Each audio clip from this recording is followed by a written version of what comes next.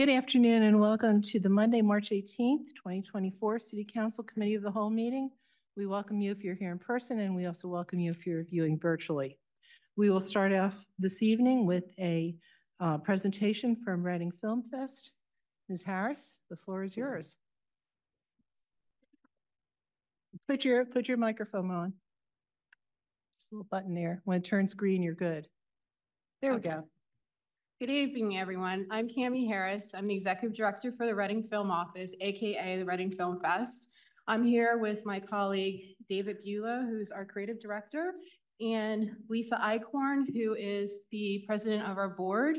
Both of my colleagues have an extreme um, background and experience in the film industry, and we're excited to present to you today.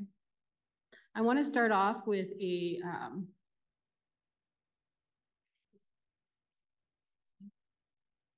with a commercial. So I'm just gonna start off with that.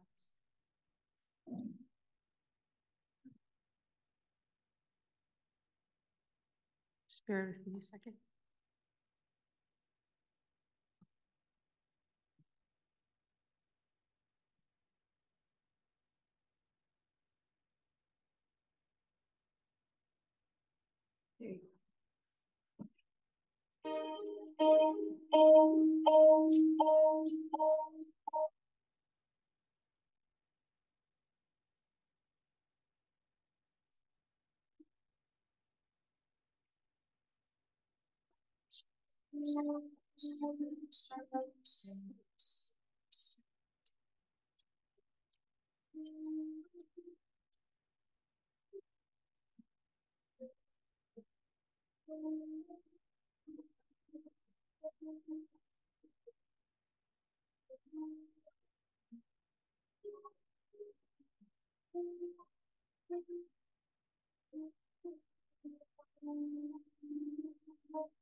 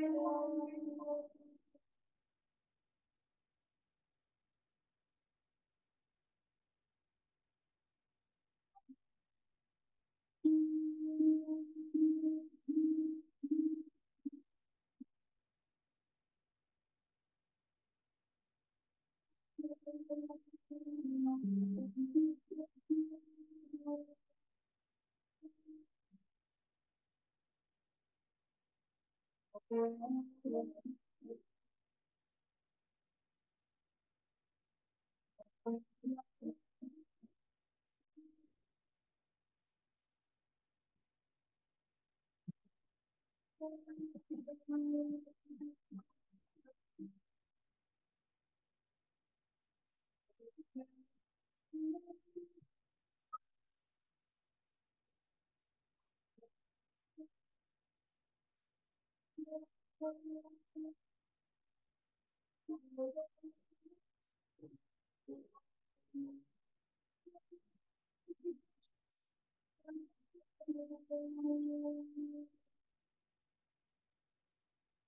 we applaud, and we applaud, and we applaud, and we applaud, and we applaud. Thank you. Thank you, thank you, thank you, thank you, thank you, thank you, thank you, thank you. The laptop. Yeah, you should. I did. Okay, okay.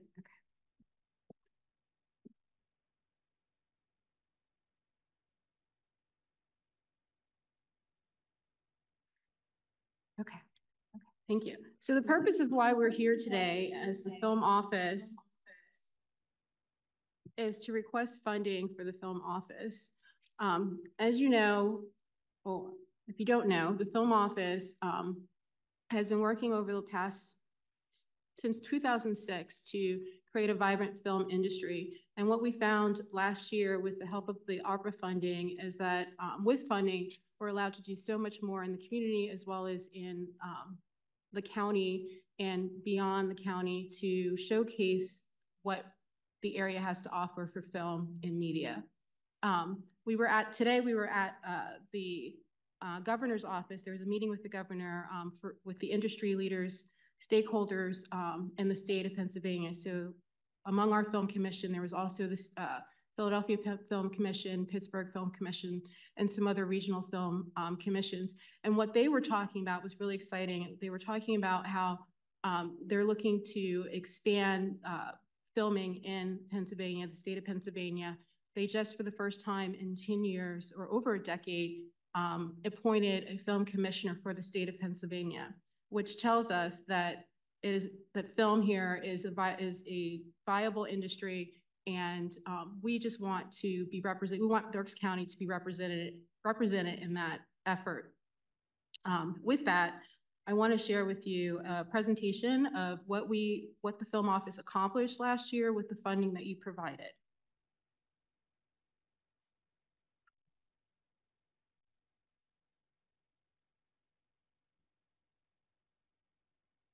Bear with me, I'm new to this whole doing all this stuff, so.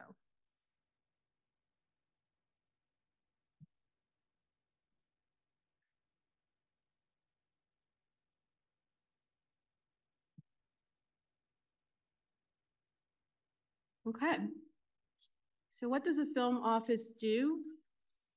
It is the hub between film and media creatives and the community at large. We collaborate with city, county municipalities to ensure compliance with policies and streamline film production process in the region. We provide filmmakers with production direction and guidance to adherence to established policies and procedures. We connect filmmakers with locally available resources such as location, crew, talent, equipment, and services.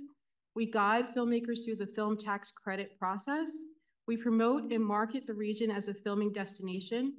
We provide educational networking and events, educational networking and event opportunities. We conduct research on current best practices, trends, and innovation in film, television, multimedia, and multimedia industry. Thanks to the grant that we received last year, we were able to expand our staff. It allowed us to increase our film production support services, marketing, educational opportunities, and community engagement. Last year, the Reading Film Fest hosted, uh, or Film Office hosted Janeshia Adams Ginyard, who's a stunt woman, actress in films such as Black Panthers, Black Panther, Wakanda Forever, and the television series Lovecraft Country, and The Falcon and the Winter Soldier. Ms. Ginyard presented at to, to over 2,000 students at Reading High School during Violence Prevention Week. Her message was self-empowerment, the importance of setting personal goals, and being a positive role model. She also participated in our student-led panel interview with and presented the awards during the Five Minute Film Fest, which is our high school student, um, Berks County student competition. We also hosted special guest Madison Reyes, who is a singer, songwriter, and social media influence. She is known for her starring role in the Netflix musical series Julie and the Phantom. She has over 1.5 million followers on Instagram and TikTok. She led RFO's first social media challenge, where, where youth had the opportunity to speak out on the topics of violence and the opioid crisis. The challenge gained over 10,000 followers and contributors on social media. She also spoke to nearly 1,000 students at our Reading High School assembly about the, her journey as a person of color in the entertainment business and the importance of following your dreams. Later in the evening, she performed at the IMAX Theater during halftime um, of the International Student Fest, debuting a number of her songs from a newly released album. We also offered a six-week film camp as part of the Albright College Total Experience Learning Program. This was a collaboration with uh, between Albright College and Kutztown University's Film and Media Department. With that, we'll talk about the ninth annual Reading Film Fest. Sure. I'll speak a little bit about that. Uh, we had our ninth festival uh, this year. Uh, we had um, over 45 filmmakers from all around the world um, attend our event. Uh, it's a four-day event, and I would say that the highlights not only are they made in Reading with the films that we um, shine a light on filmmakers uh, in Berks County, which uh, was sold out, I'm happy to say. We also brought in um, an Academy Award-winning special effect designer, Mr. Tom Woodruff, who's actually a Pennsylvania boy who uh, many years ago went to Los Angeles to seek his fame and fortune, and happy to say he did so uh, winning an Academy Award. He's worked on all the Alien films. He's done Tremors, uh, King Kong vs. Godzilla, Smile, It, Spider-Man. a lot of films that you would know. Um, Tom has over 150 credits, and he gave a uh, two-day seminar. Uh, the first day was uh, for students only, and so it's free of charge. Students from any high school or college could attend. And Tom talked about um, the art of special effects with a lot of pretty cool examples. Uh, the second day, Tom gave a seminar uh, for the festival for everybody, and he gave it was a, a similar speech, also talking about his experiences working with uh, James Cameron and many famous directors who filmmakers are aware of. Uh, the other special speaker we had, uh, which was the I would say the highlight, is we were granted um, special permission to screen The Wizard of Oz.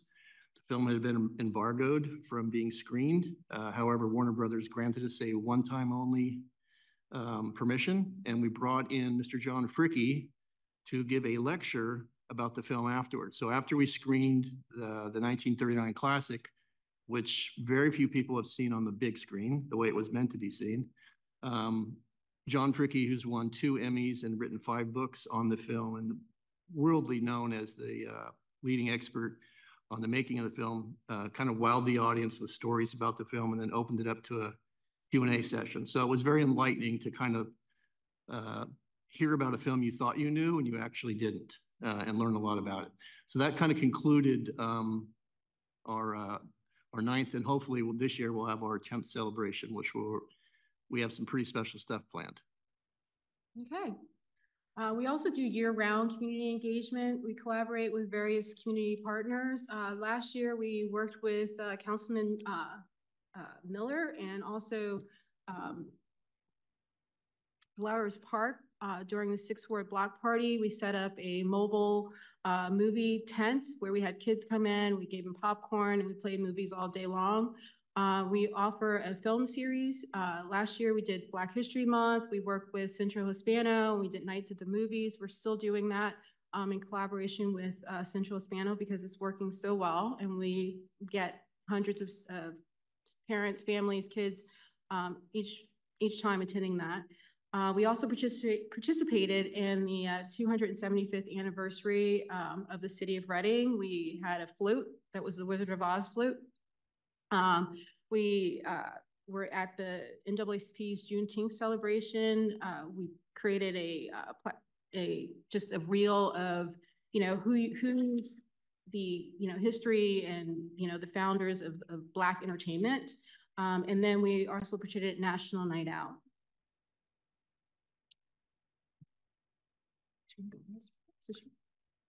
Um, one of our other duties in the office is to um, handle film permitting. Um, so um, we've had over 30 film and television commercials that shot in Reading last year.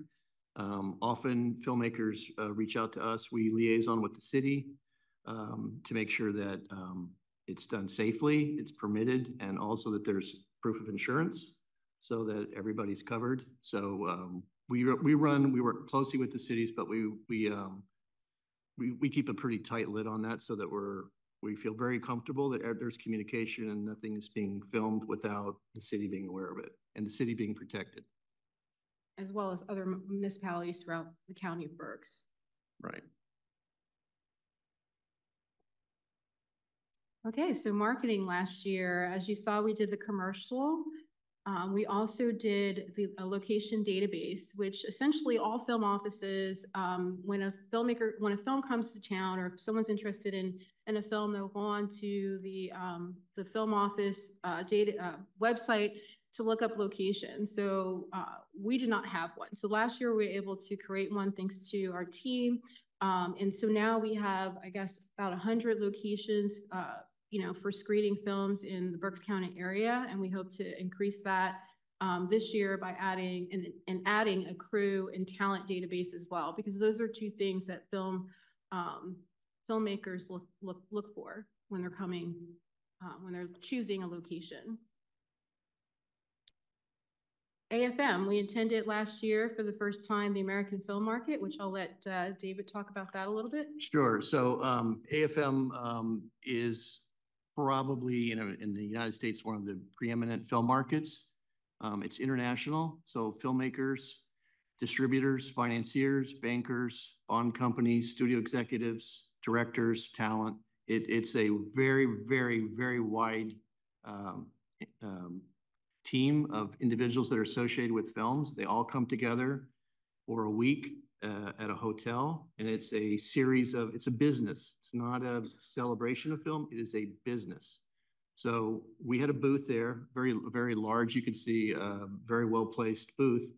And um, we advocated for Reading, Pennsylvania, Berks County as a film destination, TV destination location. I can, I've been, I've been going to AFM for probably 30 years, so I've been there a few times. Um, I can tell you that the amount of people that came into our booth was pretty staggering, and we heard over and over again, oh, I didn't know Pennsylvania had a tax credit. It's, it's uh, very intoxicating. It's a critical element for filmmakers. Pennsylvania has a, a pretty decent one. It's very competitive. And one thing about filmmakers is they're always looking for the next location, the next Georgia. We feel um, we have a lot to offer as far as variety and um, that thought was born true because we heard over and over again about how, how diversity of looks that we have that's very appealing to filmmakers. Through that uh, meeting, but we met with, I don't know, I've got business cards that are probably a couple hundred of them. But um, one of the other things we that we because we were there, we were approached by Deadline Magazine, which is the preeminent uh, online service, uh, occasional publication to the entertainment industry. Uh, it's used ex exclusively really by insiders about um, financing projects that are going, data that wouldn't be interesting to the common man, but be very interest, interesting and uh, important to people in that business. Most executives probably visit the Deadline site four to six times a day. We were approached by Deadline to, to um, take place in a location expo. Uh, we were the only uh, town, county in Pennsylvania asked to do so, where we will fly out to Los Angeles and represent um, to uh, about 700 executives our location. That only occurred because we were there and they were impressed with the story we were telling. We also, through a, a, a side meeting that occurred there, already have become part of a location expo. Um, there it is. Um, We were spotlighted. magazine email blast that went to how many thousand? Ten thousand? Okay, 100,000. hundred thousand, yeah. We were the only American location selected. Uh, the rest were all international. So it- it paid a lot of dividends because people didn't know our story and they liked it. And we'll, uh, finally, I want to talk about, just a little bit about the Film Media Studio Incubator. Um, so our plans this year and next year is because of everything that we're hearing from the local, uh, local industry of filmmakers, um, students, we get a, we get a lot of, we've been getting a lot of phone calls from, you know, students, uh, from various colleges, uh, individuals, you know, who are looking to start a career path in film. Um, we want to build a film and media studio incubator.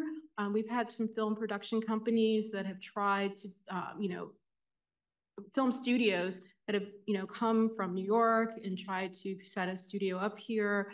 Um, but we feel like this would be an opportunity to allow, you know, the smaller film studios access to a professional studio as well as allow um, um, emerging filmmakers an opportunity to uh, build a career path in film. And we've seen this, uh, Pittsburgh's doing a workforce um, development project similar to what we're proposing.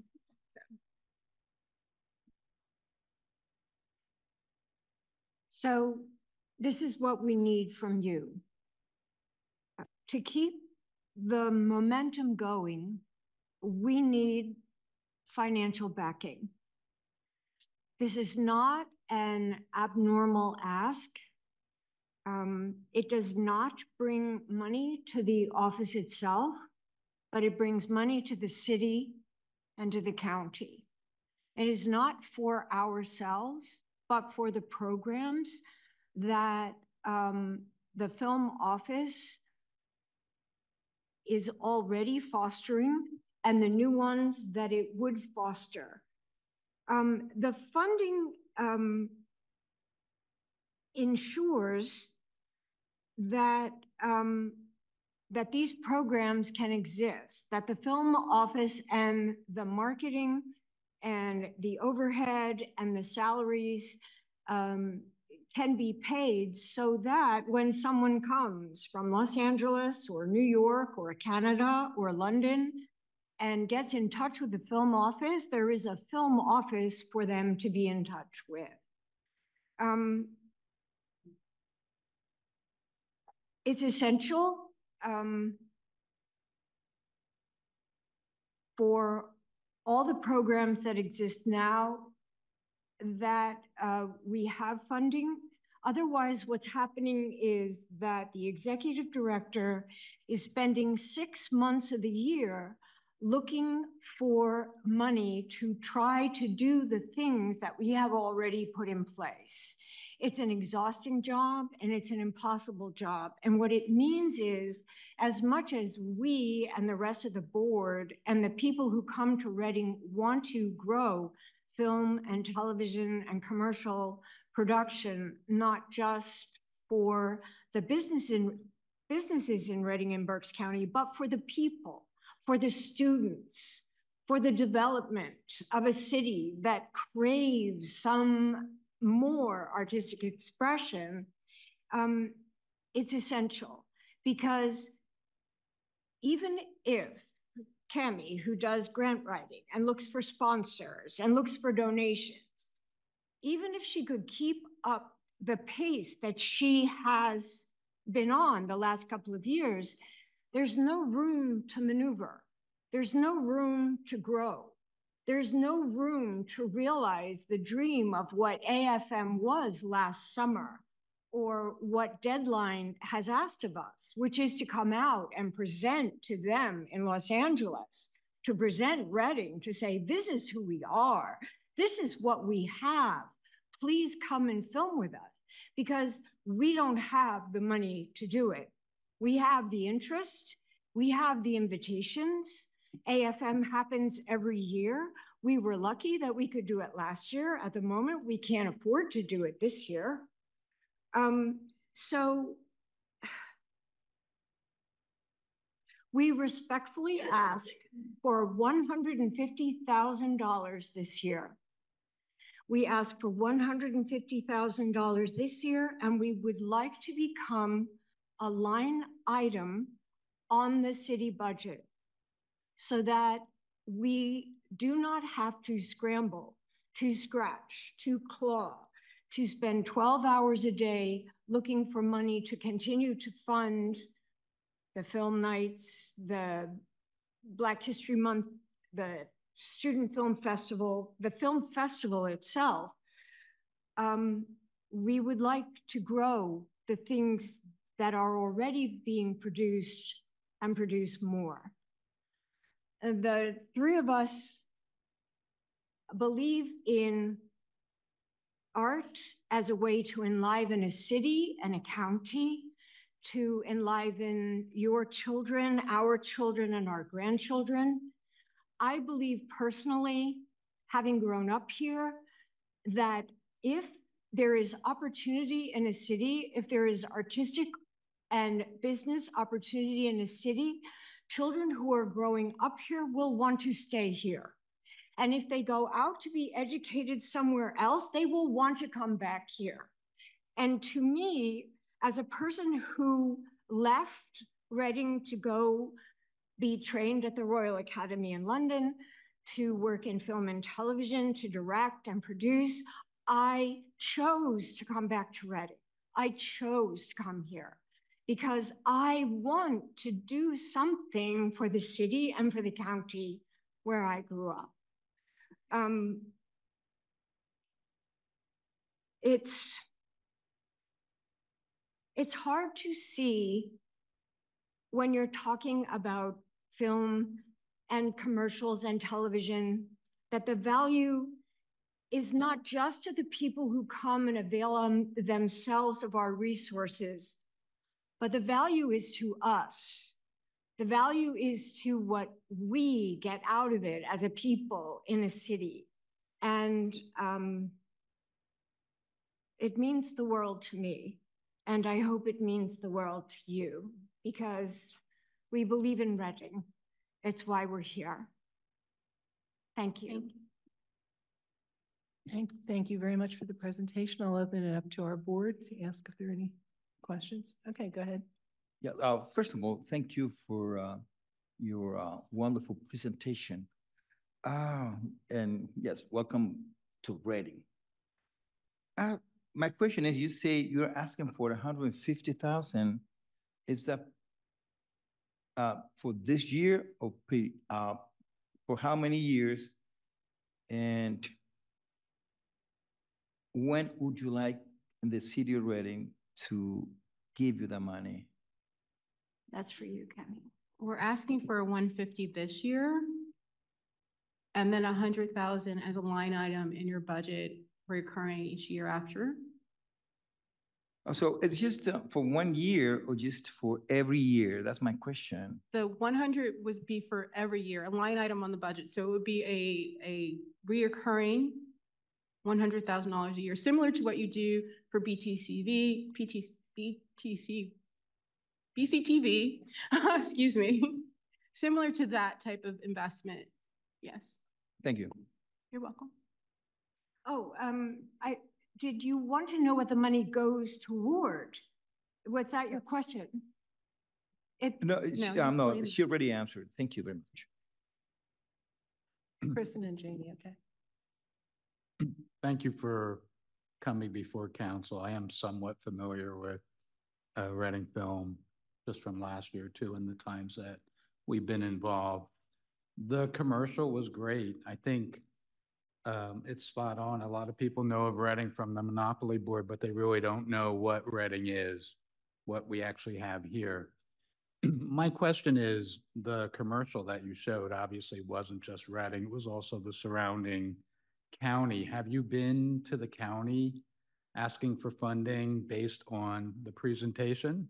Yes, we have, and they're interested in giving us funding as well. I'm talking to Pam Shoup with Economic Development and Imagine Berks. So yes, they are interested in funding. The one, 100, 150 does not obviously pay for everything. So we would need support from both city and county. Okay, and is there a figure that you went to the county with? The same. Okay, thank you. So again, as everyone has stated, I just want to thank you as well for the presentation. I gotta say that uh, the initial video gave me goosebumps. I really enjoyed it. Um, and it's such a great promotion of our city and such a great um, view on the great things that our city has. Thank you. I think you hit the nail on the head. My first question was gonna be how much you were um seeking and the one fifty. And so I just want to confirm that the one fifty for this year, then every year would be one hundred thousand? Yes. Okay. And you said that the funds would be used for programs. Could you elaborate a bit on which programs, what type of programs, and maybe break down how much um, each would take? Well, programming and marketing, so a lot, portion of it would be used for marketing. Last year with the the ARPA grant funding, um, we used, I believe it was forty percent for marketing, and the other was for, um, overhead expenses in order for us to do those programming. So it would probably be very similar to that makeup. So forty percent for marketing, sixty percent overhead. And how much did you receive last year in ARPA funding? Two hundred. So you, you have come to us with that request as you did to the county. However, I did hear you when you stated that that would not cover everything. How would you cover the rest of the expenses? Well, s- we've been doing the film, film office festival for, I don't know, since, like I said, for a while. So sponsors, other grants and donations. Um, and also we're doing a fundraise, we're doing fundraising as well. Like a fundraising event. So we would continue to do those things as well. If I can add, sorry, just one point. Um, I- most of my career, I was on the other side of the desk, um, in Los Angeles. And it, in my experience, it's, um, quite normal for film offices to be a city budget. That's, uh, if you do a little research, or we can certainly provide that to you. Most cities do it that way primarily because what we do is promote the city, promote the county. When we, you know, the trailer was quite glitchy, quite honestly. It looks a lot better when it's not. But we, when we show that, when we talk about Reading, when we're taking these meetings and these Zoom calls that we do with other executives, all we're doing is really is promoting the area. So that, that's why most cities do fold it into that because it is a, I don't want to say tourism because what we do is business development, economic development. We're trying to bring uh, economic uh, spenders into the city. Film and television shows um, have short windows, two or three months when they do shoot their product. So you pour an enormous amount of money in, into a, a local economy in a very short period of time, which is usually why uh, the film office is, uh, is a line item. Um, to add to that, and I know you said marketing, so when you're marketing, you're, you're marketing outside of the city to bring then Right. people like- into the city. That commercial was brought to AFM, the American Film Market last year, and we played that, that along with showing the location database. So What yeah, is your, what is the extent of population that you reach? Like, are, or does the film go, or videos go all the way to California and LA, or do they go to Ohio? What's the extent of that? Well, I can, uh, sorry, I want to hog the mic here. Um, um, When I used to do that, when I was in that game, um, I can tell you, the, the website is critical because whether you're sitting in, you know, New York or London or Los Angeles or Seattle, because filmmaking today is not just in two cities, it's everywhere. There's a thriving film community in Georgia, Florida.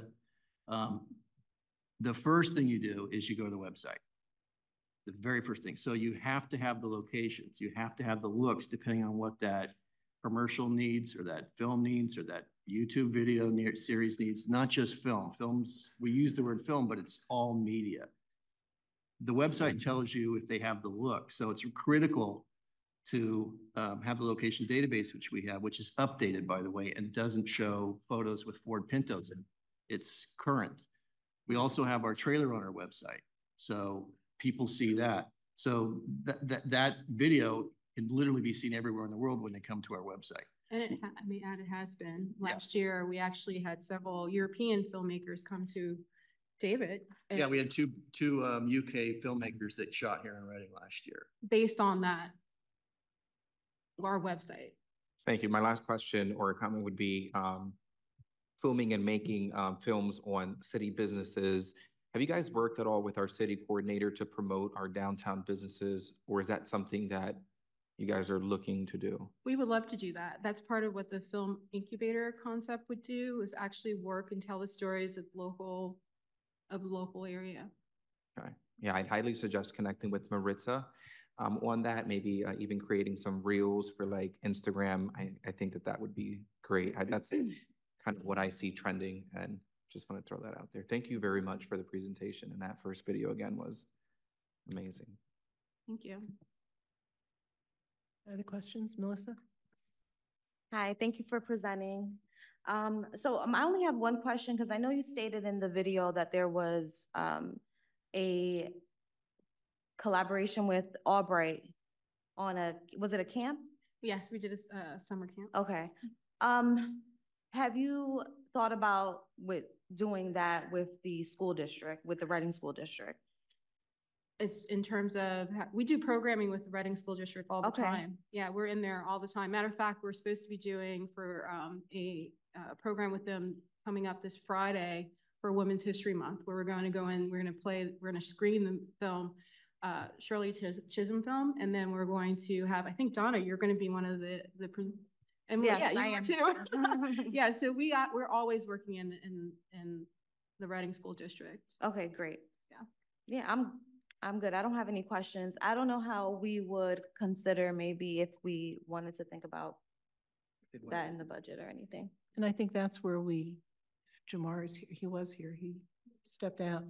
Um, I know you've, you've met with the administration via Jamar, and we had asked him for some direction of where, where that funding could come from as we, and again, it's early on, which is really good, because budget starts around June or so, so the earlier we know things, the better we are. But I, I can't really tell you that particular, um, funding stream at this point. So if Jamar comes back in next minute or so, Bill, would you know by any chance? I was just gonna ask you. A funding stream for the future? Well, that'll be part of the budget process that uh, the administration and council will collaborate on. Okay, so we'll all, we'll all be able to talk about this, get direction from the administration, see if that makes sense. Vanessa, any questions you would have? No? Wes, any questions? Um, just one quick, if you can just give one quick example. Say one of these groups comes in to do even a commercial in, in the city. How long would they be here? And what is generally the kind of, um, businesses that, that see returns from their time here in terms of lodging, food, things that, like that? I, I know you probably can't put a monetary amount to it, but can you give examples? I, I can Like how many people are involved and what? what- Yeah, I can answer. Even for a commercial? Yeah, rough, well, commercials, um, the, the commercial models changed. There's actually quite a bit of commercial production that, that shoots here that you wouldn't be aware of. A lot of it from New York, by the way. Um, partly because you have a great look here and partly because, uh, the economics. Uh, it's a, it's not an expensive place to shoot. It's not a red tape place to shoot. It's film friendly. Um, that's not the case for larger metropolitan areas. Um, commercials are usually two to three days. Not, not huge crews necessarily. Um, film and television, roughly, um, about sixty percent of a film's budget is spent during, on production.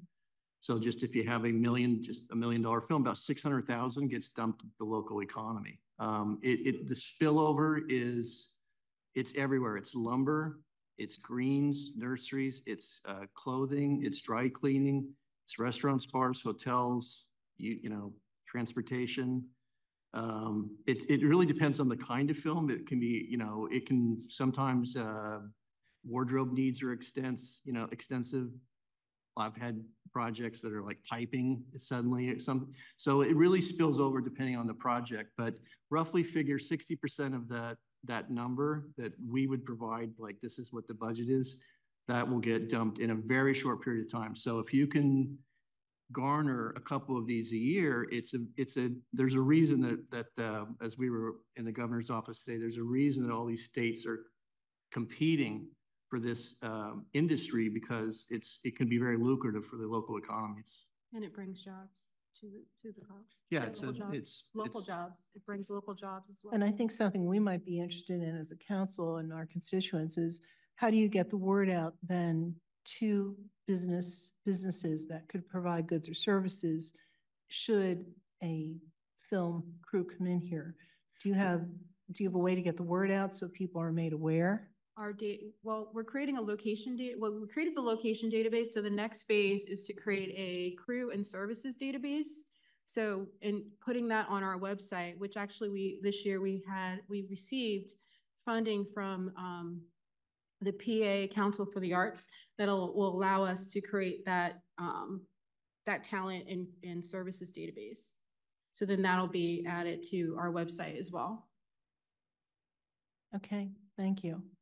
Any other questions for, from the council? Jamie?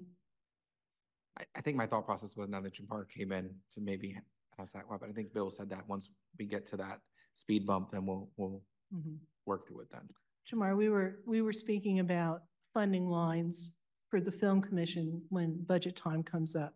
Collaboration between council administration, any kind of suggestions administration would have as you've, you've, you've met and discussed some of these things. So I don't know if there's anything you'd like to add to the conversation right now.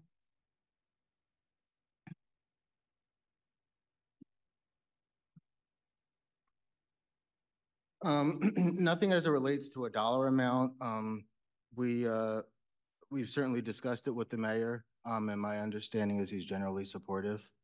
Um, and, uh, the, um, economic development slash driver, um, efforts that were just spoken to, um, are precisely why we would be interested, um, in supporting something like this. Um, while it doesn't necessarily produce a dollar for dollar return on the investment um, in the aggregate in terms of marketing the city to audiences that we would otherwise not have an opportunity to be in front of. It'll pay uh, dividends. Thank you. Any other questions for Jamar? Okay. Any other questions for our film group? Well, again, on behalf of all of us, we thank you very much for the time and the presentation. And we certainly take your concerns and your requests seriously, and we're glad that you came this early on prior to budget time. Thank you. Earlier, earlier the better. And we hope you had luck with the governor's office today as well.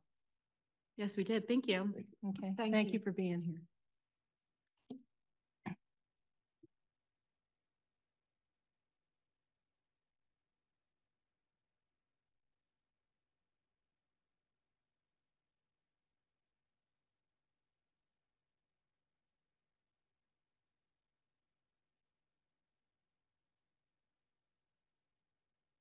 Okay.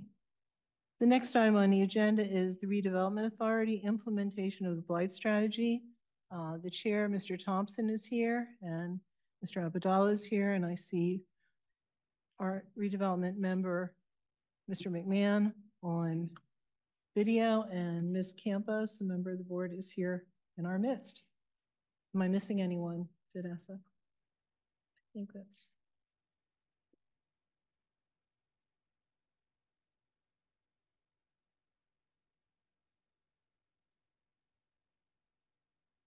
Thank you.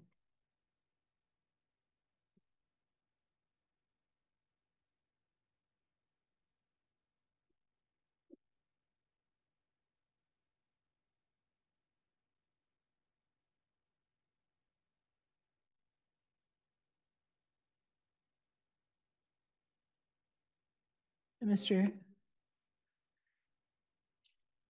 Sure. Okay.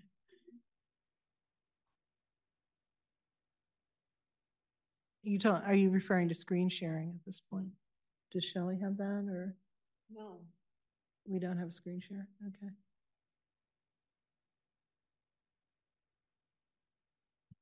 Hello, everyone. While we're doing, waiting for the, uh, I'd like to introduce myself. I'm Fred Thompson. I'm the chairperson of the Reading Redevelopment Authority. I'd like to take this time to, um, congratulate all you new appointees. Well, now, I'm sorry, you're no longer appointees, the new council people. And, um, I'm looking forward to working with you all. As you, and Donna, congratulations on retaining position as president.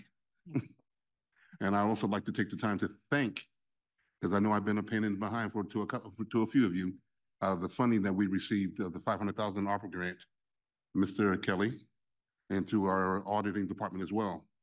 I'd like to thank you. I'd also like to recognize, we have a, a board member that was just up there, Tom McMahon, our mayor. I mean, former mayor Tom McMahon. He's our treasurer. Mhm.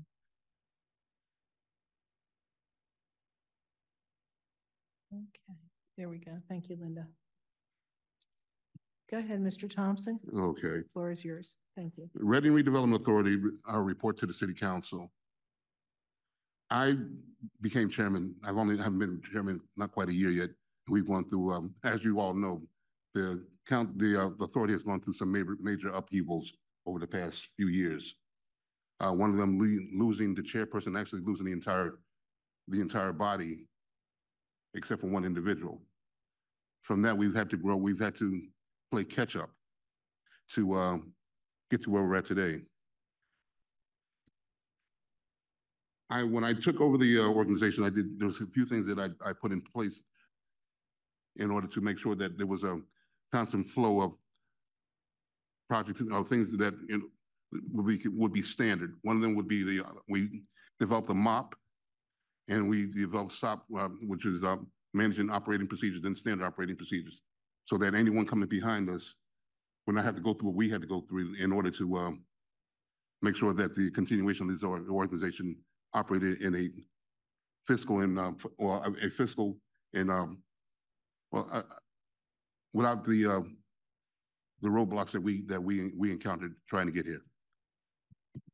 Um, this organization was formed to, to initially to improve the communities, uh, provide affordable housing, provide safe and secure neighborhoods. I took that to heart when I took over the chairmanship in order to make sure that we were going to be able to um, achieve those goals. Now, we are affected by the, the things that are that cause blighted property actions. There's the city code, uh, road enforcement. Uh, city code, city of Reading code enforcement. We're not ready yet. Okay. Is that you, Linda, or is it me? No, it's I'm putting the call for me,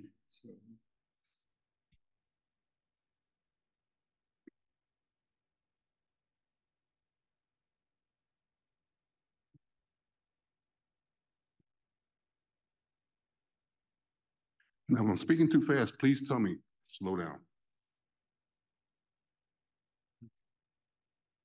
I- Okay. Our housing and blight strategy and blight toolkit.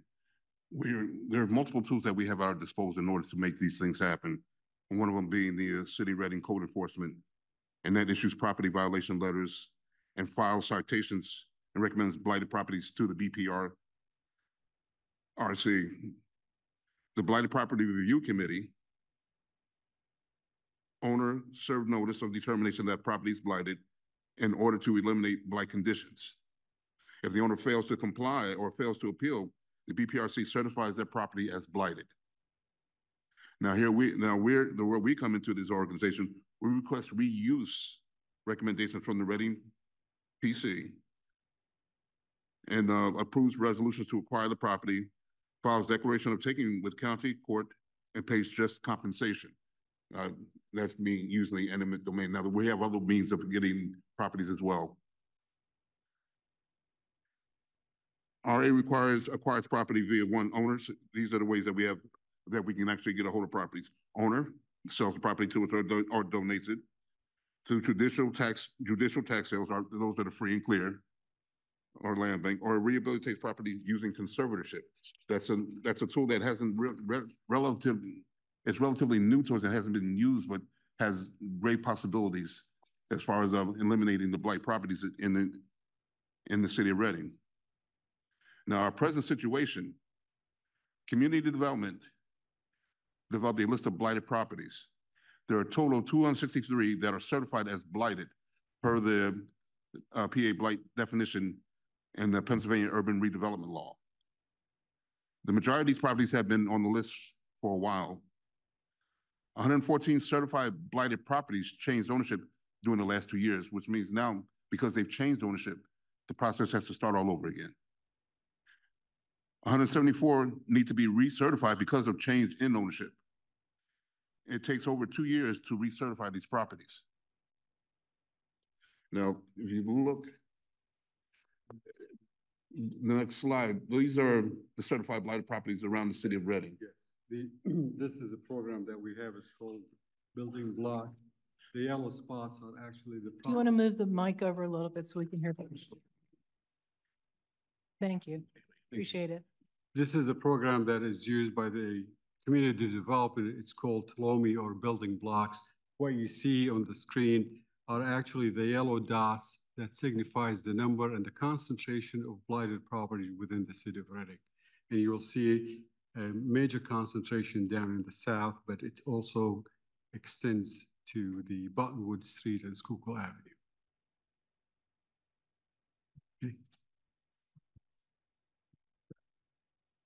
The next steps to recertify blighted properties. The Blighted Property Review Committee holds one determination hearing and two certification hearings to recertify the blighted properties. The Blighted Property Review Committee process summary per Pennsylvania Urban Redevelopment Law. Property, first of all, must be vacant. Owners serve the notice of determination that property is blighted meets the blight definition with an order to eliminate the blight conditions and that failure to do so could lead to condemnation. The owner does have a right to appeal, once again, extending the process again. When the time period for the appeal expires and this owner fails to comply, the BPRC can certify the property as blighted. Blighted property eminent domain, laws that guide the process. The Urban Redevelopment Law Act three eighty-five of nineteen forty-five, eminent domain law, Title twenty-six, and Blight Definition Act of twenty nineteen, and the Municipality Con- Condemnation Order Act one oh one of twenty twenty. These are all the things that are used, that the BPRC uses to uh, put these properties on the blighted list that makes them available to us to, uh, take possession of and, uh, do what we need to do in order to get the blighted list and back into, uh, the tax rolls and, uh, providing safe and affordable homes to residents within the city of, uh, uh, city of Reading. Our accomplishments. We acquired and sold blighted properties at fourteen oh four Fairview, eleven oh three Spruce Street, six thirty-eight Schuylkill Avenue, and six forty Schuylkill Avenue. We annexed eight vacant lots to neighboring property owners. These properties, there was no anywhere we, we could have, we could have any prop, any potential use for these properties. The surface was so small, it made more sense to allow the homeowners that were adjacent to these properties to take possession of these properties. Oh, and I'm, I'm sorry, I forgot, we do have one other new member on the board, Vanessa Campos. I apologize. Uh, we identified ten residential properties to acquire, oh, yes, we, we identified ten residential properties to acquire via blighted property eminent domain, two of which we've already taken action to, we- we've already started the process for. Uh, we're evaluating convert, conservatorship as a tool to support blight remediation work. Like, this is a little less intrusive than eminent domain. And, um, we're still learning more about this and then we're probably going to take a trip soon to some of the neighboring cities that are, that use this, that use conservatorship so that we can get a better understanding of how we can use this tool to help benefit our, our, our, our in, in, in, um, working here and, uh, in moving forward in Reading. We're developing partnerships with private investors with private investors. And we're initiating, initiating a neighborhood project reclaim program. Now, this is something that's near and dear to my heart. And what it, what it does is, as we identify blighted properties, a lot of these properties are attached to homes that are, that are becoming blighted as a result of being attached to these blighted properties. Now, these homeowners have not had an opportunity to repair their homes, but they're living in, you know, they're, they're ready, some of them are just ready to walk away from the land, from the property because they're not getting the help. What the project, uh, Project Reclaim will do is, we will, through eminent domain, conservatorship, donation, or whatever, take that blighted property that's in, that's in, that's in this, this, in disrepair, tear it down, rebuild it, whatever it needs to do to get it back up to par. And at the same time, we're going to go, we're going to apply for funding through loans for the residents that own, well, the homeowners that have the properties that are in current, you know, uh, disrepair as a result of being attached to these properties and, um, have them take out and I, and I put a base figure of a hundred thousand dollar loan to help repair, not knowing how much it's gonna cost, that will be forgivable over ten years. They have to live in these homes, if they receive these loans for the repair, they have to live in these homes for, for ten years and it will be forgiven ten thousand dollars, it will be prorated ten thousand dollars each year that they stay within these homes. This way, we're able to take the, take the burden off the homeowner, allow them to refurbish their homes to get it back up to a, a livable standard where they're not gonna be placed on a blighted list as a result of being attached to a blighted property. These are some of the things that we're looking forward to doing moving, these are some of the strategies that we're looking forward to moving forward. Now, we've developed the Reading Redevelopment Authority Toolkit, identifying the property, city, the city priority areas, certified blighted properties, other properties, and select properties. We do the research, the reports, history, reuse options, and acquisition options. Uh, through property acquisition, uh, general information, direct purchase or donation, involuntary acquis- acquisition procedures, uh, would be through, eminent domain. And then, blighted property, eminent, eminent domain. Secure and maintain, as we come across our blighted properties, we're, we're, have taken the opportunity, we've taken, we have contracted with different businesses around the city to help secure these buildings so that we don't, we- um, they're not, uh, being further damaged or vandalized. We're holding properties for future, we're going to hold on to certain properties for future development. Rehabilitate, demolition, rent, and lease. This organization has to have money. We need, we need a income flow. We cannot continue to operate on a, on a shoestring budget. And uh, in order for us to do any of this work, It's, it takes, it takes an immense amount of money. And, um, one of the things, and, and I was so happy that these folks spoke about line items. I would like for us to be put on the, uh, on the, uh, city budget as a line item at one point five million dollars a year. And that's just a drop in the bucket, just to even start the work that needs to be done for the city f- to take care of these, these, uh, properties. Now, we will also sell property using competitive, competitive and non-competitive means. Now, one of the things that I, we didn't discuss is, um, as we purchase these properties, rehabilitate them, one of the caveats that must be in place that they must be affordable. They must be, well, we're looking to try to make sure that they're income based. And the other thing that I want to make sure is that they're, they're being given to neighborhoods, you know, to folks who are living in the neighborhoods. In order for us to change the mentality and, and make any, any inroads into the uh, blighted, we must first stabilize our communities. We must get rid of the transient type, you know, the transient nature that we currently have with out-of-state land, out of, out of, out-of-state, out-of-town homeowners. The only thing they're interested in is collecting rent. And, um, the folks who are living in these properties have no, no buy-in to the communities in which they live in. They don't, because, um, they're here today, going tomorrow. I want, um, we're looking to build these communities back up where these, um, stakeholders have their own, they own the properties within, within the communities that they live in. They're having a buy-in. And that's the only way we're gonna, we're gonna change, change the, the current condition that we're in. We can throw money at a lot of things, but until we change the, the, the current culture of the, the transient type culture that the city has, we're always gonna have blighted property. It's, it's never gonna change. The only way that we change, we build it, we build it from the bottom up. And that's, where, you know, you start with each, each community. And that's, that was, that is our goal moving forward. Our need for assistance. Establish monthly BPR meetings to recertify the hundred seventy-four blighted properties. Develop a conservatorship ordinance. Establish a ready land bank via that ordinance. Establish community policy to support the redevelopment of abandoned vacant lots. We have a shortage of homes. We're five thousand, I think is, currently we're five thousand short of of affordable homes in the city of Reading. And uh, tearing down and not building back up is not an issue, it's, it's not an option. We have to be able to put back what we take down. And, but we have to make sure that it's affordable and safe for our community, for these folks to live in. Allocate annual funds to support the blight remediation. Once again, uh, the request of a line item budget. And I will host three classes for city council to learn about blight remediation tools. Now, that concludes my presentation. Now, if there's any questions, I'll be more than happy to answer them for you. If I can, I have my SMEs here with me. Um, Mr. Chairman, would you want any, any of your other members, um, Ms. Campos or Mr. McMahon to add anything to your comments? Mr. Campo, Ms. Ms. Campos?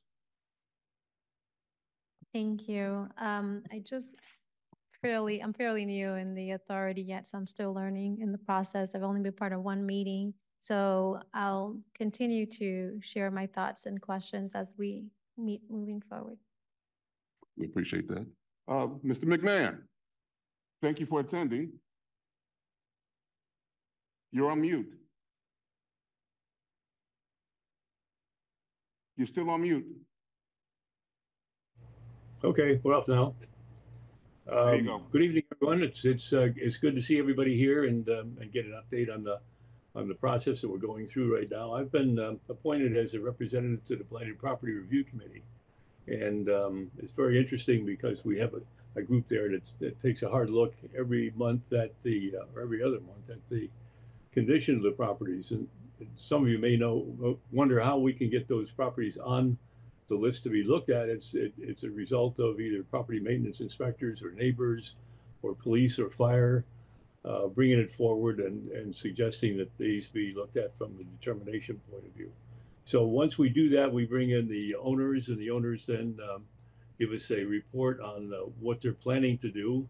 And uh, many times in the past, the BPRC has been, um, tabling a lot of these, um, uh, places because uh, the issue was, um, we thought that they didn't uh, weren't, weren't making enough progress as far as getting these uh, to a point where they can be back on the tax rolls. But more recently, we've been holding feet to the fire, and I can, I can say that among the members of the committee, and it's a good, strong committee, uh, that, um, that we're gonna make some, make some progress as far as getting, getting the, uh, the, uh, owners of the properties to do some things that are gonna be um, viable. So that's, that's going forward, and I'd also wanna put a shout out to, uh, to Habitat. Habitat's done a, a really, really good job. Most of the people on council have been to see the project of the Homes of Buttonwood Gateway, and that uh, continues to to be uh, an eye-opening um, approach to what can be done. If we look at what can be done around the city in general, you're going to see that they are taking a similar approach as we've been talked about uh, in the redevelopment authority. That is not just not just refurbishing homes, but it's also changing neighborhoods. So one of the things that, that we've got to be looking at at redevelopment authority is not only use of of the money for, that would come from a, a line item in city budget, but also um, over the last, uh, I think it's about 18 years, we've had like 91 million dollars has come in from the uh, the HUD, and that that includes home money and um, and CDBG money. So I I do want council to become familiar with those resources as well, and we have not um, really availed ourselves of that because of the, the lack of site control. So that's the other issues that need to be addressed, and uh, and I look forward to working with everybody on the um, on the, on the both the planning commission, who's also represented on blighted property review committee, and uh, and with uh, uh, our managing director Bill Heim, who's uh, who's really helping us to take a look at, at the, the, internal process of how this whole thing functions that uh, Fred talked about. You know, the, a number of steps that need to be taken but when you start to look at it, we have been stumbling along in, in a lot of ways, and uh, and we're all in the process of getting it made made smoother. And so I think over the next uh, several months, six months or so, you're going to see some real progress. So that's all my comments for now. Thank you.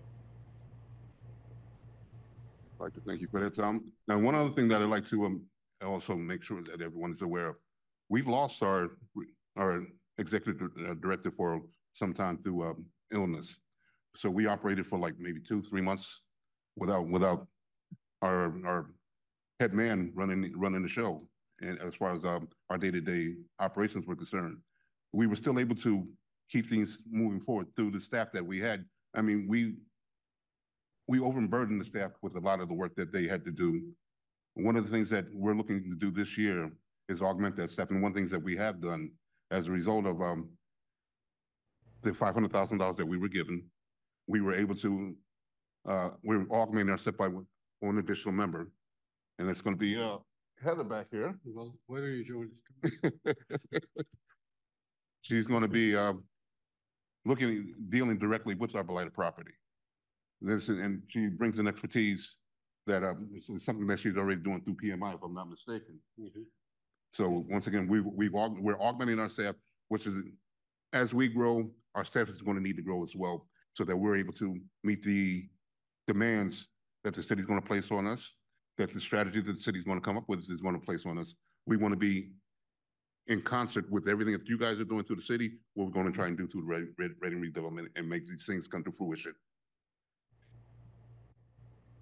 Any other questions? Questions, guys? Wes? Yes, um, if we go back to the map, I may have not heard you, uh, Jamal, but what do the green dots represent?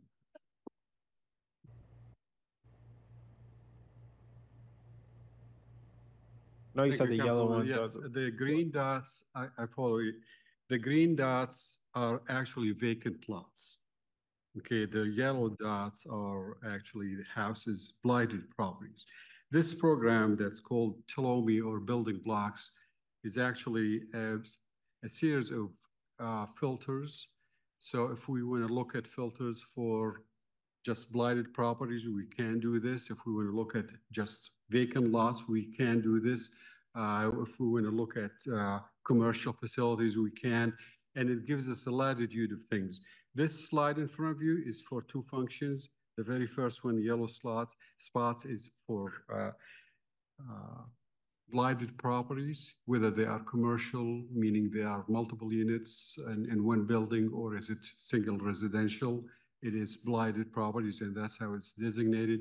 And then the second one is actually uh, uh, vacant lots that are probably mishandled or unke- unkept. Okay? Thanks for asking. I wasn't sure what the green was either. Uh, Jamie, Melissa? I agree. That was a good question. Um,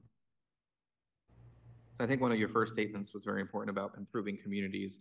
So my question is, out of two hundred and sixty-three ablated properties, which I think is too many, hundred and fourteen haven't changed ownership. What has happened with hundred and forty-nine that didn't change ownership?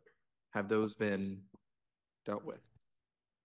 Thank you, Councilman Baez. I, I would like to take this question, but before I do so, I would like to thank the Blighted Review Committee for, for doing their job. Honestly, uh, with two time or three times meeting a year, they are doing a bit, a fantastic job in keeping the track of these blighted properties. Uh, with the, with the help of the Property Maintenance Department, actually, we have listed some of these properties on there and it- it's been certified and determine that it is blighted and as such, it, me- it met all the criterias, but there was not an, a follow-up action. The follow-up action, as the chairman tried to indicate, and that is to move these properties to the Reading Redevelopment Authority and through one of many mechanisms, one of them is eminent domain, the others are land, land banks or what have you, to start taking the properties and, and take ownership or what they call it site control. That, that link was missing for a while. And as such, some of these properties, whether they were put on for sale or they went on for sheriff sale, they were acquired by somebody else. By law, if there is a change in ownership, we have to give the new owner the fortitude to rehab the property and, and, and fix it. What we have noticed when we start aggressively looking at the blighted properties listed there for the last, for the last year, Heather brought up to our attention that there is about hundred and twenty-four properties. I can't. Excuse me. There were, there were about hundred and, uh,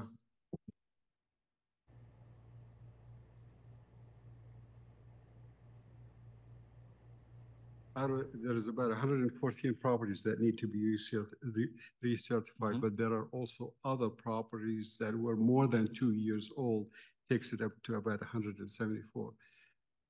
So for now, we have a cluster of properties, about eighty properties or, or so that we are actually pursuing the, the, the, the- the eminent domain action.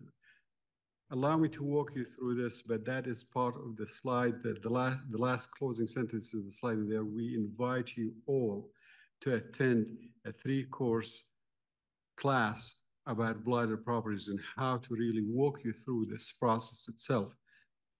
In that regard, what happens is that when you get a property, and this property now, we've notified the property owner that your property is determined and certified that it is a blighted property. By law, we have to give the property owner sixty days to come before the blighted property hearing and tell them, I'm going to do something. If he doesn't show up in there, then in this case, they are not going to do. And we, after sixty days, we can pursue this. Pursuing, the next step is actually, we have to go to the to the planning commission and seek a- a reuse of this property. And the planning commission will adjust that. And that's why on the planning, uh, on the blighted property Uh, review committee, there are, there are members of the Reading redevelopment authorities as well as the planning commission to make sure that everybody is moving in the same directions. Now we have received a conf- confirmation from the planning commission that we can move forward.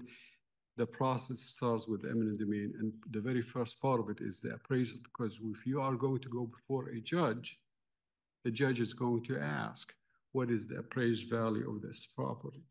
We try to resolve this amicably with some of the property owners, and we have done in one, in one of the cases, the own- property owner donated the property to, uh, to Reading redevelopment, but some of them, they would like to, uh, to extend the process or fight you through court, if I may use this word. As such, uh, six thirty-eight and six forty were one of the, two, two of these properties itself, and we took over in a record time. In about four months, we actually prevailed and we showed this.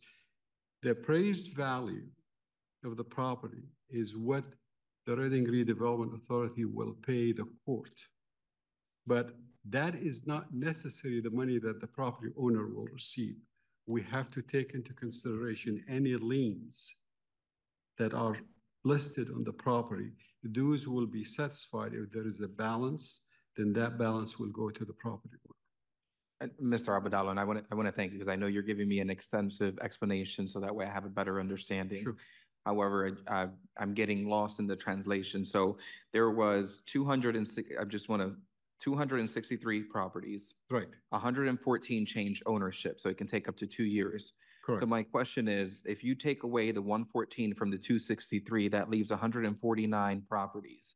What has happened to the hundred and forty-nine properties since they haven't changed ownership? What steps have been taken with those Uh, properties? the, the next, the, the next bullet, Mr. Councilwoman Beyond, it's hundred and seventy-four. So there were properties more than two years old that they were, they, they were actually included in this. And for that, basically what we will, what we will do is that you deduct hundred and forty from hundred, so there is sixty properties in addition to the hundred, hundred and fourteen. The balance of this is about hundred property or so. These are actually still certified uh, uh, properties, and we are going to go after them, assuming that we have enough funds to go after them altogether. So the ones that haven't changed ownership, those are, the- you're going after those properties? That is what I'm, okay. In, in addition to that, if I may add, there is a, a new development that I, that, that, that our department has uh, actually created, and that is the effort of our friend uh, Heather and Linda Keller. Actually, right now, we are going to, in, to put a statement on the, on the deed itself to make sure that before it goes for sale, property owner will, or the, the, the buyers will know that this is a blighted property. And that, that will slow the, the, the, the purchase process in, in of itself. Can you give a uh, brief synopsis as why, of why it takes two years to get the process going? Sure. I, as I mentioned, it's, it basically, we have three meetings a year for the Blighted Review Committee. Two of them is the consideration and one of them is the determination, okay? As such, if you are going to process hundred and seventy-four properties, there is so much you can process. Like for instance, this time we go in in, in May, in May or April, in April, and we are going to go with thirty properties. Uh, there's twenty-three total at this point. The, if I can touch base on this a little bit, so, um, we actually have four hearings per year. Um, in the beginning of the year, there's a determination and a certification. And then, uh, towards the end of the year, a determination and a certification. Um, because we only do two per year, I can only look at so many properties at one time.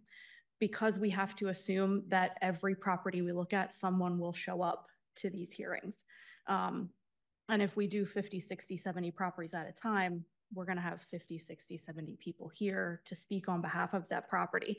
So we usually, I try to stick to right around 30 properties for every set of, of these meetings. Thank, thank you. Um, have you guys thought of meeting more than four times a year? It, it has been discussed, yes. Okay. Um, and then with the one, I, I think that you said one point five for, for one point five Line item. uh, million Yes. is what you're, you guys are, We would like that every year, one point five million. But once again, with the number of properties that we have that are out here, once you start doing the, once you start putting the numbers in there, that one point five million is gonna be eaten up quickly. That's, that's not even including the, the time that our staff is gonna be dedicated to working on these properties. That's just getting the properties, doing the, um, the necessary due diligence in order to make sure that these properties are certified, they're, uh, going through eminent domain or whatever, whatever aspects, and then putting out the bid, or if we're gonna do the, uh, do the, uh, work ourselves, the work, the, the amount of work is gonna take us to do on each one of these individual homes. So I'm looking at one point five million in order for us to at least put a inroad, a dent into the, into the blighted properties around the city. have you guys had this conversation with the administration? Um, I've spoken to, um, Mr. Heim about doing a line item, but once again, it came, I, I, I, was- I was given chairmanship after the, after the fact, and then budget had already been out, laid out. But since the opportunity is here now, I'm putting our, our bid in. But Thank you. The, the answer to the question is yes. Okay. Thank you. I appreciate that. I appreciate the presentation. And as soon as you have those classes or an email, please feel free to send those classes over. Melissa? All right, thank you for being here, Fred, and thank you for, to the board members for your presentation. So my first question is with the four sold blighted properties, is there any type of agreement with the owner, the person that purchases them, that they have to begin construction in a certain amount of time or demolition? Yes, the answer to that is absolutely. It's like, for instance, the properties that we have put on auction, online auction last year. Uh, these properties, uh, fourteen oh four Fairview, eleven oh three Spruce, as well as six thirty-eight and six forty Schuylkill Avenue. What we have let the bidder know in advance that on the agreement of sales and as well as on the deed, it will require three important key points. And the very first one is that within thirty to sixty days, they will, they, they will acquire the properties and that, and settlement will, will will take, will take place. Within, within the same time frame sixty day, sixty to ninety days, they will start the process of applying for building permits. Okay, and after twelve months, we, they must receive a certificate of occupancy. We may extend this, the period to another six months, a total of eighteen months to receive a certificate of occupancy. If nothing happened, the property returns back to the Reading Redevelopment Authority. So these are the conditions and they, all, all, all of four properties being ac- actually accepted and consented to these, to these Thank you. conditions. Sure. Uh, my second question is, from the ARPA funds that were received, how much of that was spent? Um, we just received. Okay, was there a reason for a delay or?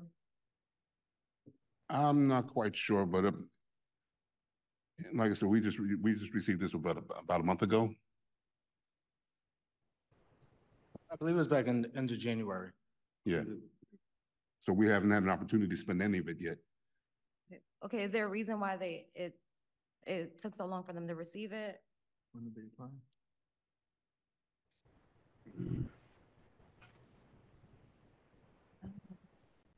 Without having the paperwork in front of me, I know, uh, we went back and forth about the funding agreement terms. Um, um, then there was some staff downtime. Um, but the check did go out, I believe, third week of January this year. Okay, and is that already been conversations on what that's gonna be used for? where it's going to be allocated. Well, we do have, um, we are, that money has been allocated. And it's gone, one, of- one of the things that is being allocated for is the uh, ten properties that we're going after for eminent domain. And we're looking at, I mean, if you look at five, it's ten properties. Was that fifty thousand dollars a property? It depends actually on depends, the right. process that we are going to go through, yes, but it, it, for the six thirty-eight and six forty Schuylkill Avenue, and we take this as a, as a measuring gauge for us, uh, it, it, it took approximately about thirty to forty thousand dollars to pay the process itself and to pay the, and to, and satisfy all the liens as well as the property. Okay, thank you. Sure.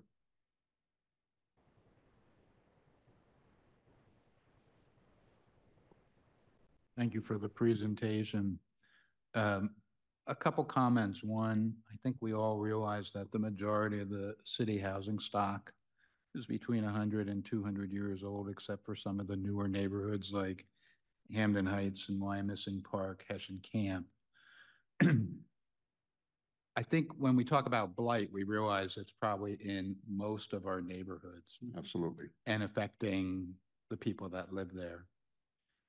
Um, The concept that you're talking about seems to be a good program for smaller, single-family homes.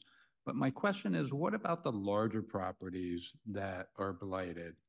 The, um, the factories with the roofs that have collapsed, the buildings that have been vacant for ten years, um, the larger apartment buildings, the vacant churches, the buildings that are harder to tackle than, say, a single-family row home. What is the plan for those? Councilman Miller, that's a very good question, and allow me to say that it, it did not drop off the radar at all. These, these properties are still on the radar and we are monitoring them. But it takes a process, it takes a very long time to move, to move these things because these properties are owned by business owners who they really know how to work the system itself. So for instance, the block that we have on Sixth and Chestnut, uh, it took us about three and a half years to actually finally negotiated a deal between the previous owner and the current owner, who are are nonprofit organization, joint venture between uh, Housing Development Corporation (HDC) as well as uh, uh, Equity Life or Quality Quality Life. I'm sorry and that's that it took it took that long to to do so and in addition to that we have actually the city consented with the help of the of uh, the uh, RAWA that we will alleviate some of these expenses to make the deal more palatable and to move it forward. We do have some other properties like this. For instance, right now we are engaged in communication with the owner of 631 Elm Street, where we have tried to actually uh, reason with them in order to see that which option can we go with? Can we demolish the property itself or would they be able to, to donate it to us? The, the, this, the discussion that now is going on and soon it will, it will land on uh, uh, law department and that is to kind of like come up with an agreement because the property owner said that I would allow the property, the city to demolish the property but and keep and put a loan in there, but give them a chance to establish a business and to pay through through time or when the business is sold. We are working out the, these details, but it has not been finalized to a point that I can take this to our uh, solicitors so that they can put it in a, in a formable agreement. We are also talking about the properties on uh, th on Third Street, 503rd Street. There, that is a huge complex and it actually will benefit us in many, many ways. We try to reach out to the property owner right now and try to introduce several developers to the property owner. Sometimes people would look at things in a different way. I can summarize it that beauty is in the eyes of the beholder. Property owner wants about a million to two million dollars for that property. Investors are not willing to put something like that. So we have to devise other ways to keep the property owner on the table and give us the chance to re redevelop these things. So these are some of the things that we are working on. And each and every one of these is a very special condition that has to be treated in a slightly different way than, than the others. The other comment I wanted to make about the properties, mostly the single families that are um, not on the end of a row, but in the middle that reach the point where um, it seems like demolition is the first course of action. Um, whether that's in the long range, the, the right way to go.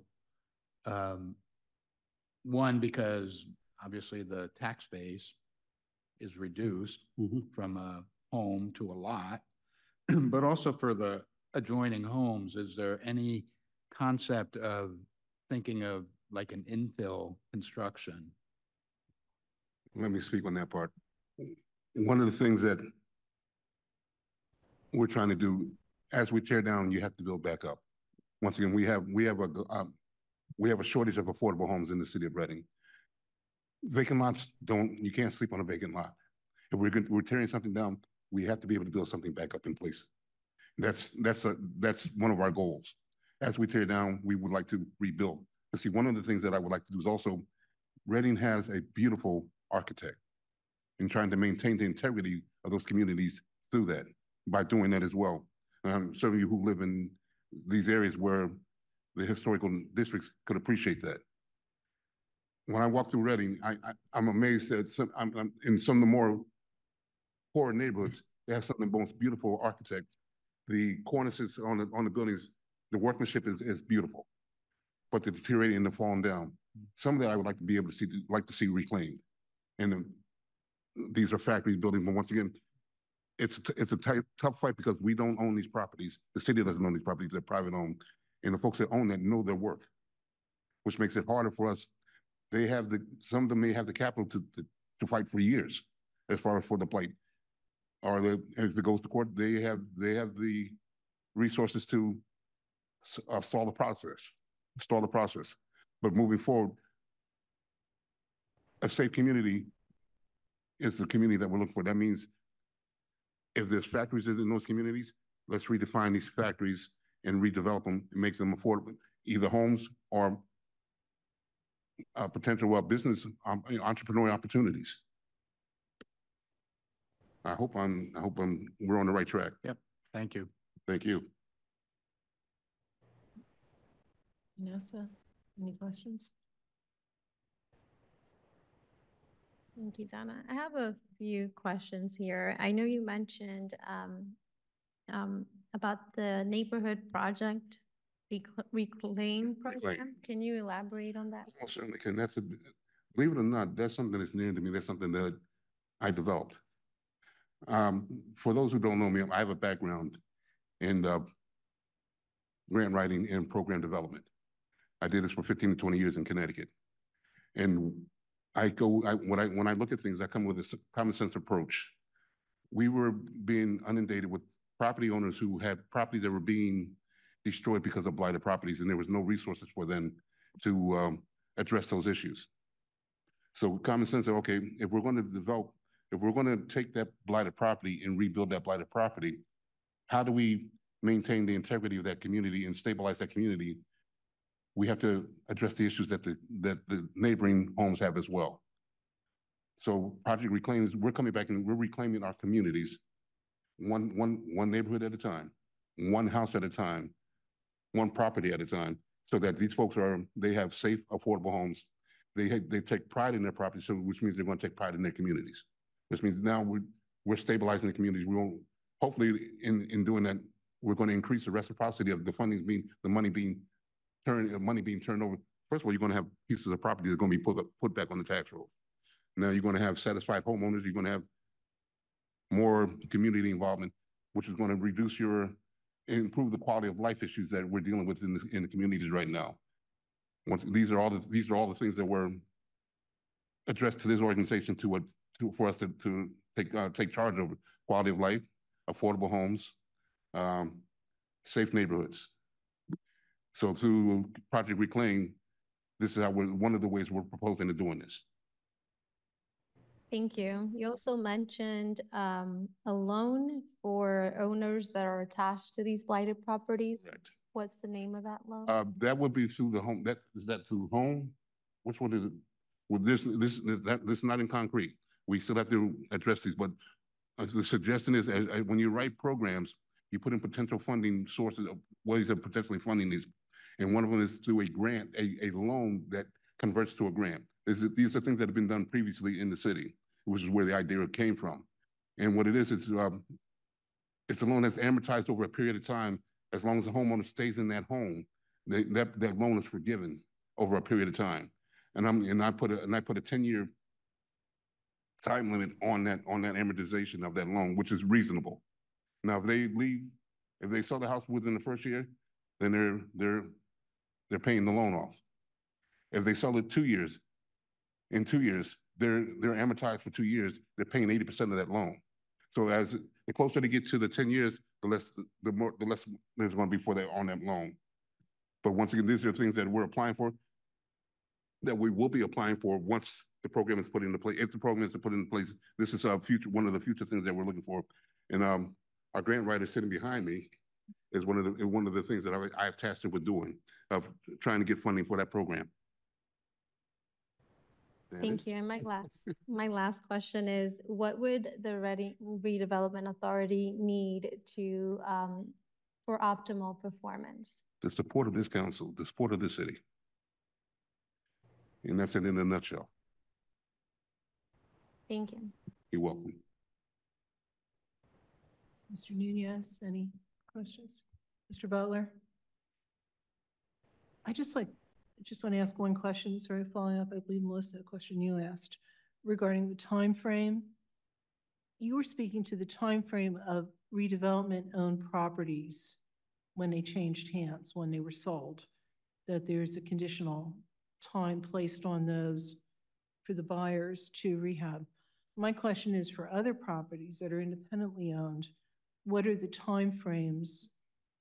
I, I know from having sat years ago in a blighted property uh, review committee, it can get frustrating because people will say, we're going to fix them up, then they don't.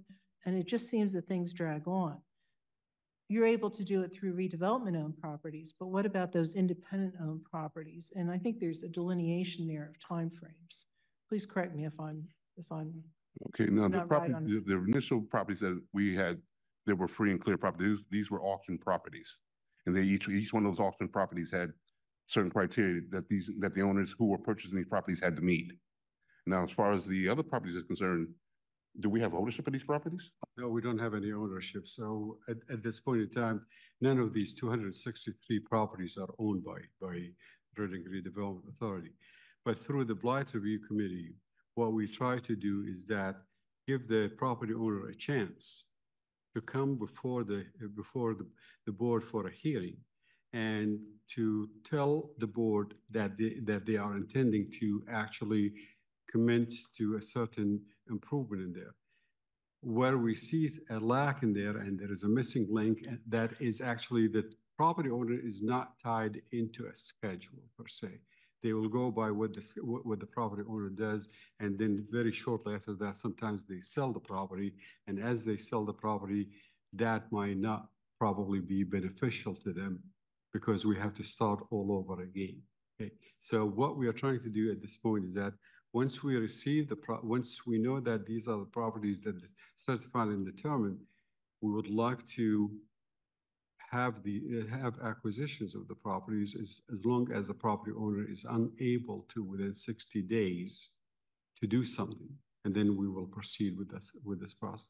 Once the word goes out that the city means business of, of, of fixing the blighted properties, we will see some property owners, and I believe this, that they will start coming in and do the, do the work. But as long as there is not much of action or follow-up to that, unfortunately, we'll continue to battle with blighted properties. Thank you. Um, I think we'll conclude this part of the meeting. We have a presenter for our last agenda item.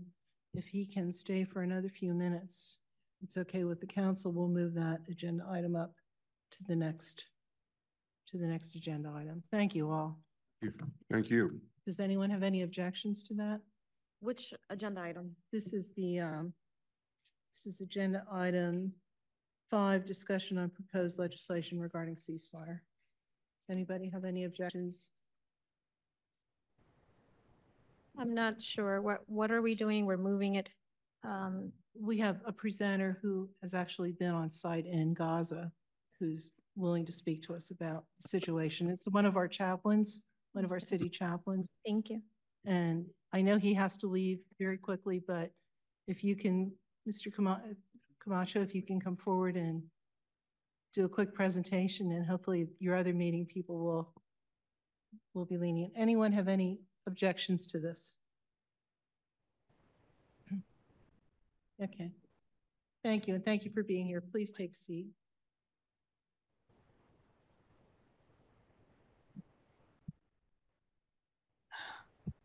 And thank you for all the work you do. That's it. Yeah, good evening. My name is Nicholas Camacho.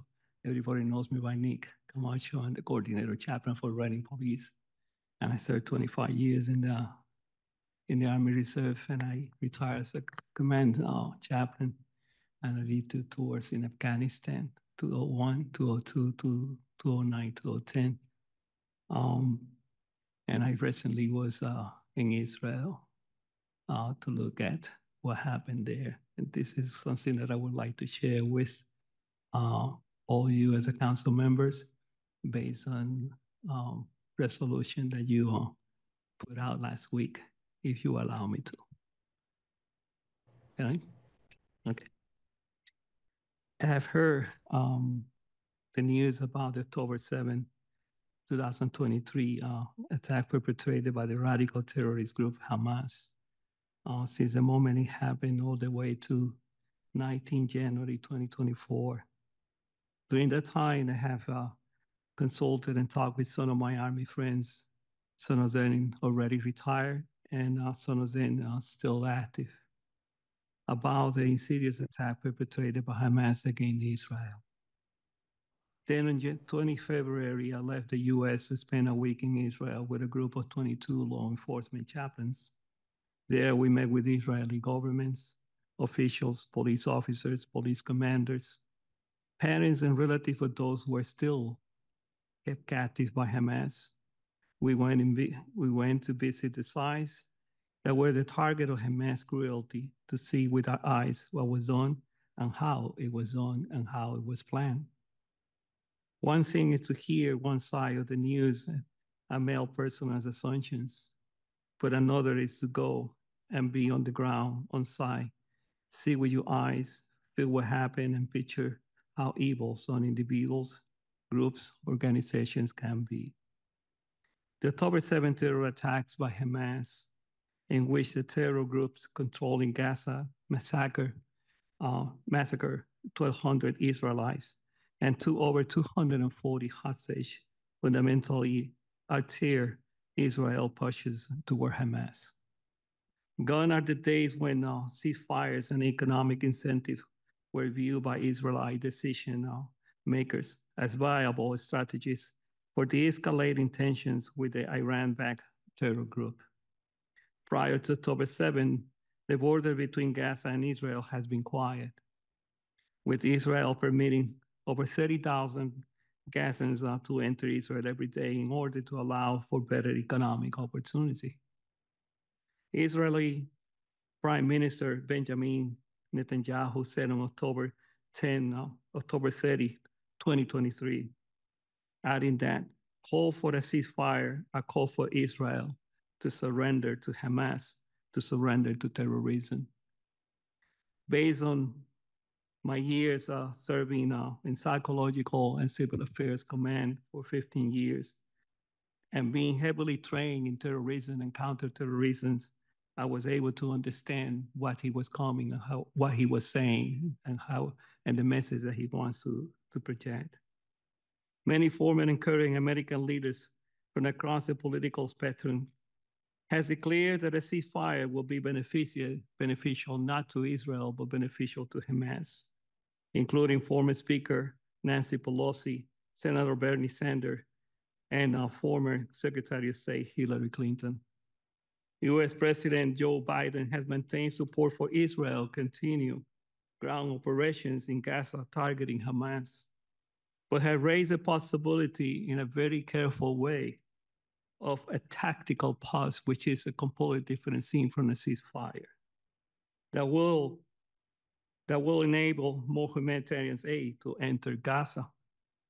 Prime Minister Netanyahu has stated that there will be no ceasefire or a general ceasefire in Gaza without the release of the hostages, but has agreed to humanitarian uh, pauses that run each day for four hours. On October 7, Hamas killed, raped, tortured, and kidnapped Israeli civilians, including women and children. They take, they took, they take innocent Palestinians as human shields and prevent them from fleeing the combat zone. Hamas indiscriminately choose uh, rockets at Israeli civilian centers. All of these are clear war crimes and morally abhorrent acts and call into question how the international community could expect Hamas to adhere to a ceasefire when they never had done so. Still, it is important to understand why unconditional ceasefire with Hamas, the right course of action, is not. The first one is to know Hamas has a long history of breaking ceasefires agreements. If a ceasefire were to be reached, we know from experience that Hamas is unlikely to uphold to end of the deal. It's end of the deal. During the last war in 2014 between Israel and Hamas, a ceasefire was agreed upon between the two sides, but Hamas broke it. killing two soldiers and kidnapping a third, Hadar Goldin, whose body is still held by Hamas today. Indeed, Hamas has used Iranian support to launch several wars against Israel from its base in Gaza, including in 2008, Operation Cast Lead, 2012, Operation Pillar of Defense, 2014, Operation Protective Edge, 2021, Operation Guardian of the Walls, and now with the October 7 attacks. In each of those attacks, Hamas has violated previous ceasefires with Israel, launching thousands of rockets toward Israeli population centers and attempting to infiltrate and murder Israelites. Two, Hamas remains committed to the death and destruction of Israel. This is their goal, this is their purpose, this is their soul, this is what they are, fully and beyond any human comprehension committed to do. And no one will be able to take them away from, from this. Let us not forget what's incomprehensible happened October 7, 2023. The brutality of the Hamas death squad on October 7, where babies were beheaded, women were raped and mutilated, and elderly Holocaust survivors were gunned down. Illustrates that the terror group is not interested in any accommodation with Israel. Indeed, given the opportunity to rearm and regroup, Hamas leaders have made clear that they will strike again and carry out the goal of annihilating Israel. These aims were reinstated by senior Hamas leader in Lebanon, Ghazi, Ghazi Hamad, who, who praised the systematic slaughter of civilians and vowed that the terror group will repeat a similar assault many times in the future, not just in the present. We must, he said, quote, we must teach Israel a lesson, and we will do, do it twice and three times and more. They all, they all Aqsa Deluge, the name Hamas gave is October 7 Oslo. It's just the first sign. And there will be a second, a third, and a fourth, said Hamas.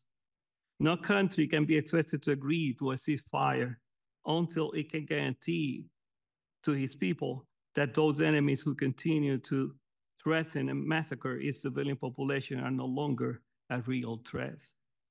Third, Hamas will, will use the ceasefire to regroup and rearm.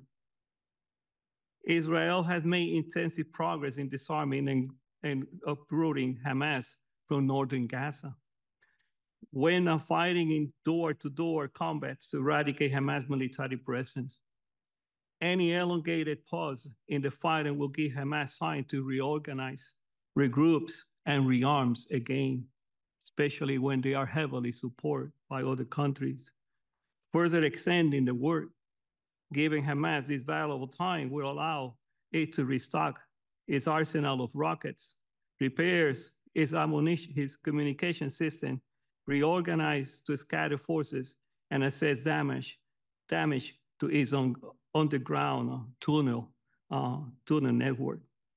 Four, a ceasefire may delay the possibility of returning the hostage home. Over 240 Israelites and other foreign nationals were taken hostage in the Gaza Strip by Hamas during the October 7 attack. Some of them were recently released but a good number are still, still being hostage. Israel has been firm that there will be no ceasefire without the return of the hostage, and for good reason. Strategically speaking, a ceasefire would allow Hamas to move the hostages without fear of an Israeli raid to rescue them. Ruining, ruining any intelligence Israel may have on the hostages carrying now whereabouts it makes sense that Israel will only agree to a ceasefire on the condition release of all, not just a, a number of hostages. If you have been able to follow the news and if you have been able to listen for the ones who knows, every time there is a something that uh, is being uh, is, is being uh, proposed, Hamas always is asking for a change of hundreds of prisoners for a very good, uh, very uh, small numbers of those that are still hostage. Instead of saying, we will release all hostages for X number of. And that's the way the Hamas always work. You will never see the full release of all those hostage by Hamas. That's their commitment. That's what they're committed to do. And we need to know that because that's a fact. It's not just history, it's a fact. Hamas is Hamas.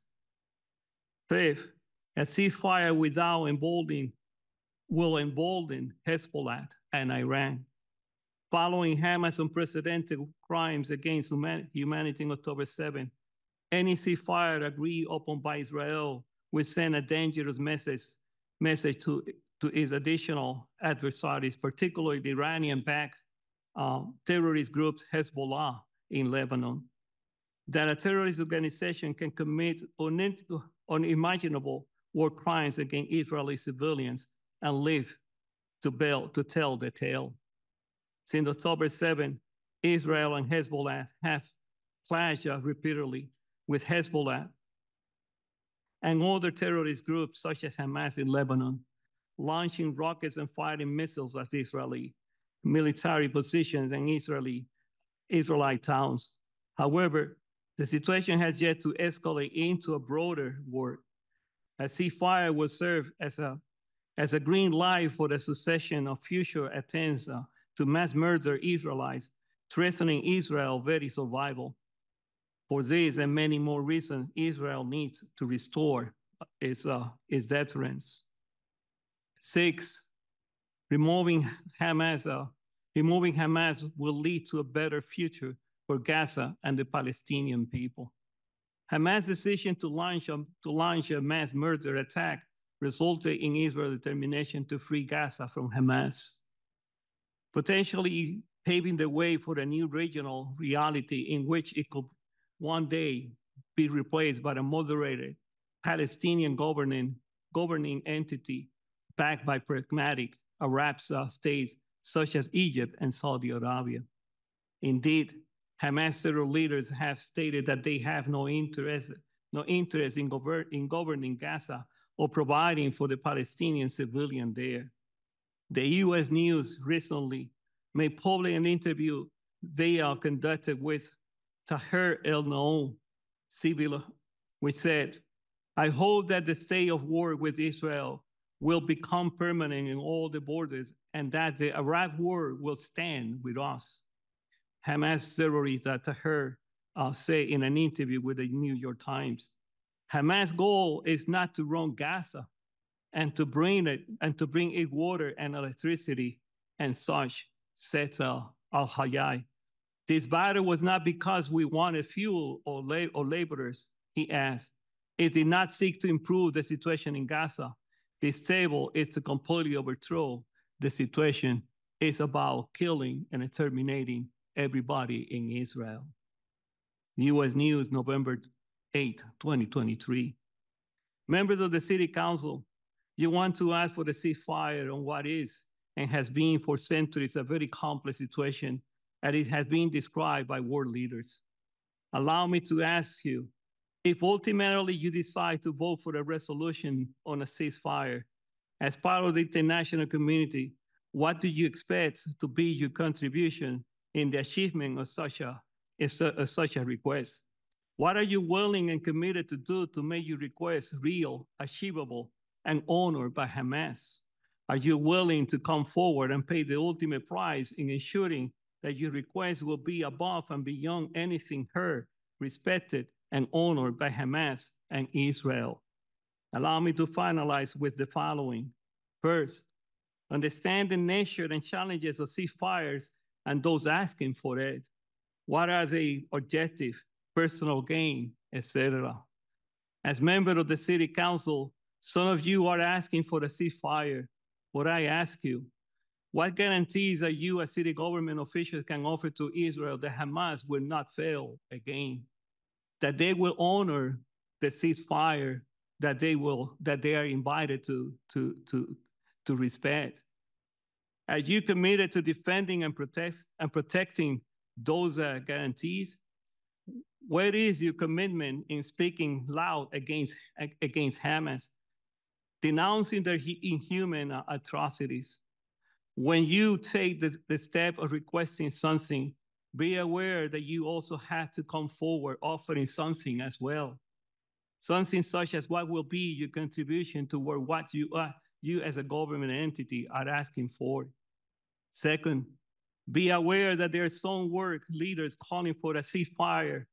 It's mark of blatant uh, hypocrisy, for example.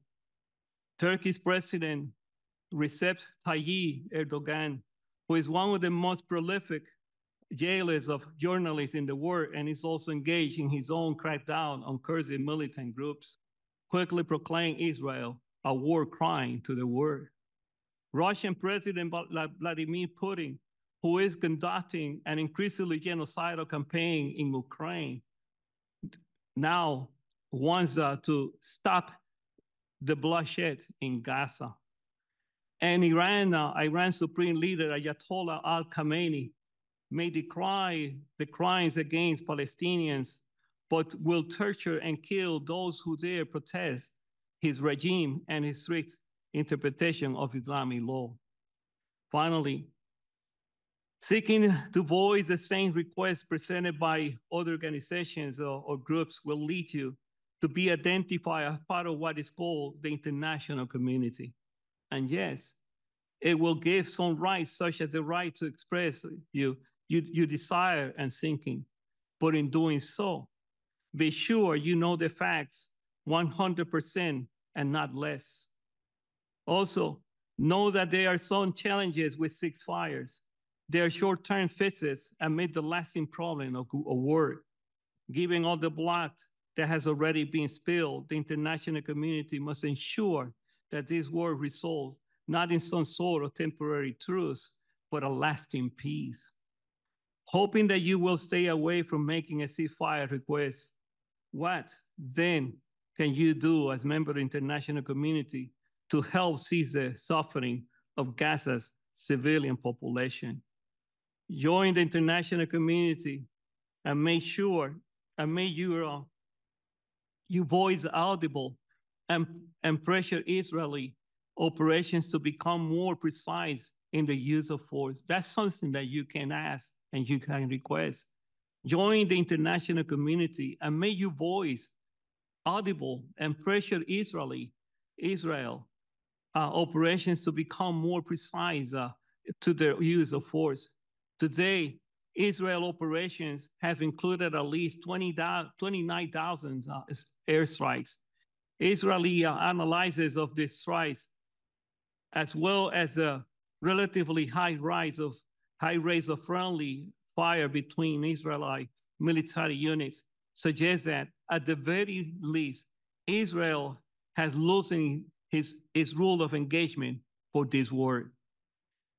Tightening these rules will save life among both the Israeli military and Palestinian civilian, which is what President uh, Joe Biden and his cabinet are looking and the military staff that, that he work and is and uh and uh, him aware are looking to and are putting pressure to Israel Prime Minister Netanyahu to look at what he's doing and to ensure that everything that he's doing is doesn't goes beyond his own control, but keeping himself and the United States away from asking a definitely ceasefire. As members of the international community voicing a concern, should also push for increased humanitarian aid for Gaza. While Israelites accuse Hamas of stealing aid for its own purposes, at least some of it gets uh, through Gaza, through to Gaza population. With many of Gaza's buildings destroyed, the international community should look to provide temporary housing to Gaza population. Of course, such housing is contingent upon having relatively safe places to put it. So the international community should also push Israel to create safe haven in spaces it has already cleared of Hamas militant. And while I was there in Israel between February 20 and February 26, I was able to see and I witnessed with my own eyes how a great number of Palestinians were sheltered by Israel, the, the Israelites, together with their families, and were provided with everything that they were needed. And these eyes that you see here in my face saw that. Finally, the international community should force a, a hard and necessary conversation with Israel the day after the war ends. If there is to be any silver lining in all the death and destruction in Gaza, then it should be that this war opens the, the, the aperture for a more lasting political solution rather than a continuous cycle of violence that have plagued the region ever since the Israelites withdrew, withdrawal from the Strip in 2005.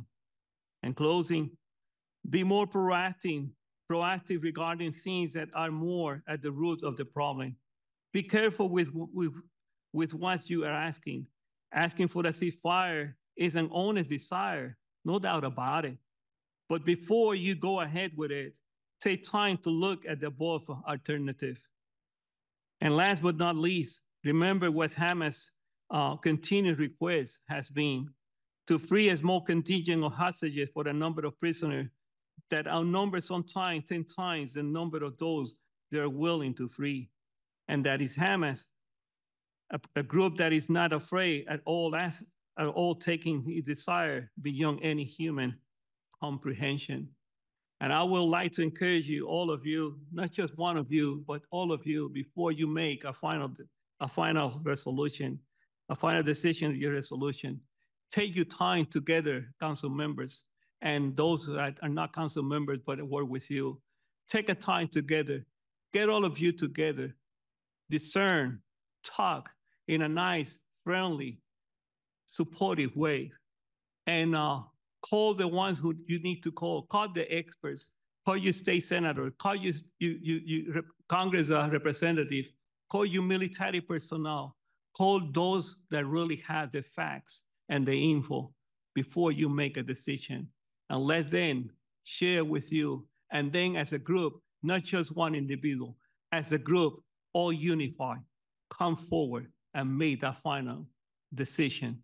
And then you all will be at peace and not divided as we don't want to see you. Thank you for allowing me the time. And I need to go. Thank you. Thank you for your insight, having been on the ground over there and seen things directly. So um, at this point, there is no proposed, there's, I guess, proposal regarding resolution, but there's no concrete resolution at this point. Um, I'm not sure what the status of that is. Mr. Nunez? Yes. Um, well, this is a very, very serious, serious matter uh, to that have been brought to the city council. Uh,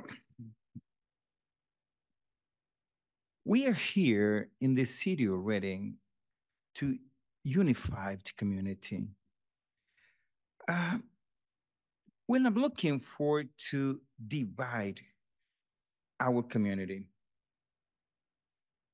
This is a case that we need to discuss in person because if we want to support the ceasefire or not, I think it has to be more personal than to bring this to the city of Reading because we have a lot to talk.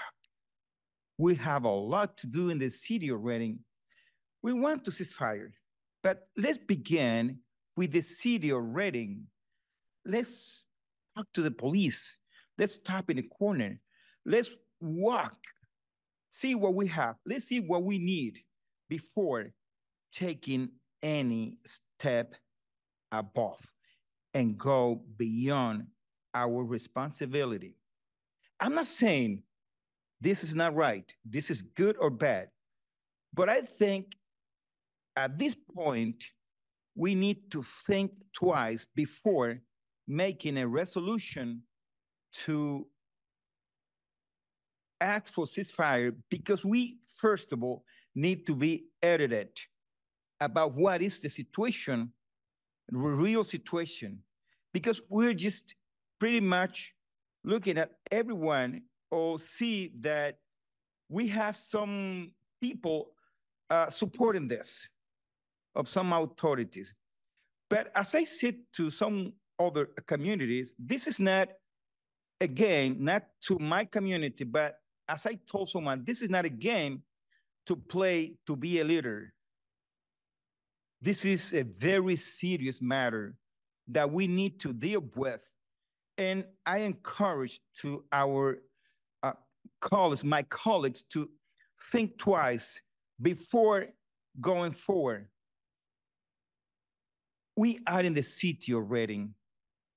We are not looking for to divide our community. We have both sides that we need to listen to both sides of our community. We're just listening to one side. I'm not against anyone. I'm not in favor of anyone. We are here. We need to be fair. But if we're going to fight or do something in favor or against, we need to hear both sides. So please, I hope I I hope that no one one of one of us, you know, gets offended. But we we are here to work together. But before going forward, please let's be literate in this matter and also think that we are a community to work together, not to be divided. Thank you. Any other comments from the council? And so I do believe that there is a resolution that was sent out to the council body um, after the discussion from last week. Um, I made sure to, that Okay. everybody received that. And so I think, Rafael, you made a good point, like, we want a ceasefire. Um,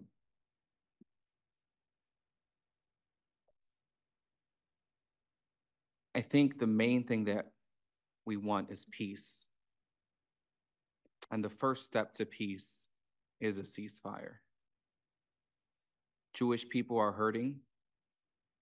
Palestinian people are hurting. And I think that a conversation that I had yesterday at the end of the day with the Jewish Federation, one of the last things that were stated were we all want peace here and abroad. And again, in order to achieve peace, there needs to be the first step of a ceasefire. We, we need to stop the fighting, and that is the first step to peace. And so there was a resolution that was presented. Um, and I look forward to the conversation on the other counselors and their thoughts on it.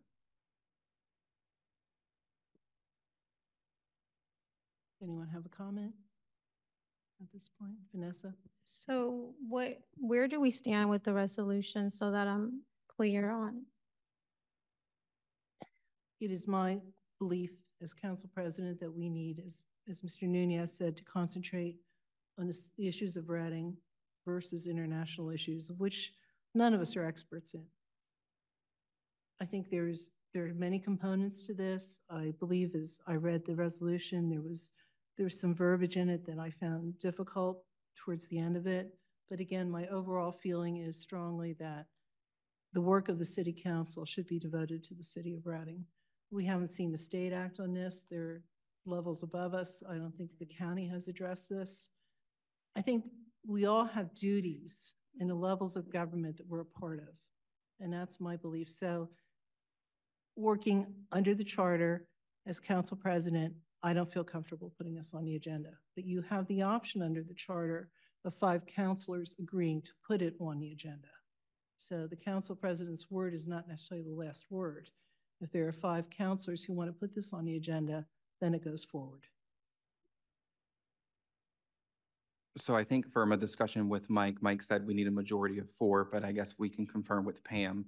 Um, I do want to state that the assertion that city council has been silent on foreign affairs in the past is false. Um, there might have not been a resolution. However, when city council members as a body or as individuals attend a vigil for Ukraine that is showing support for that country, that means that they are in fact um, dealing with foreign affairs. On top of that, there was a resolution in two thousand seventeen to support a fracking ban in the Delaware River. Now, this is a state issue. So to say that um, city council does not get involved in state or international issues is false. Um, and I think that we have a duty to do what is right in every aspect. I know that I took an oath and taking a stand on international issues, especially um, those involving human rights, reflects our communities, our community values, our community ethics. And as a council member who has taken an oath to the Constitution, our primary duty is to uphold the principles and values outlined in the Constitution at all levels of governance, including national affairs. And we have to ensure that these principles align with dem- democracy, justice, and equality. And so I do stand for this resolution, and I hope that my colleagues will agree to have this placed on the agenda next week. And uh, if, as it pertains to the resolution and the verbiage, I look forward also to collaborating with those who might not agree with the verbiage. I know that from what was presented um, to the council body, there have been some changes that um, I'm looking forward to sending this week um, before the agenda gets posted online, so that way um, the verbiage can be adjusted. Just one thing about, just to clarify about the Delaware River and fracking, that was, I believe the state had come to us, and because there's a shared watershed in part of the county, it's the Susquehanna and the Delaware River watershed, there, there was a local angle to that. I'd have to go back to 2017 and look at the minutes, but there was some, some local because we're, the county sits in two watersheds that feed into the Schuylkill River. So just clarifying that one. I just wanted to add too that this is a local issue. Taxpayer dollars are going to fund wars. This is a local issue where it needs to be addressed because those funds can go to our police. We see the shootings that are happening in our neighborhoods. That funding can go to programs to help our youth, could go to our infrastructure. And we need to think about that as we're making this decision. Any other comments from the board, from the council? So you mentioned, um, Council President, that, um, we need five votes. Where is that? That's my understanding under the charter. Am I incorrect? I'm looking for the email that Mike sent me confirming it was four.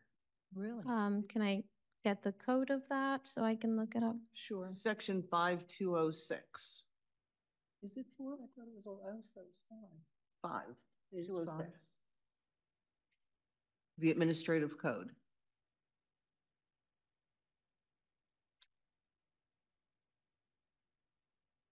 I'm not. The I'm published not fine. agenda may be amended by, at the meeting by a majority of members present plus one.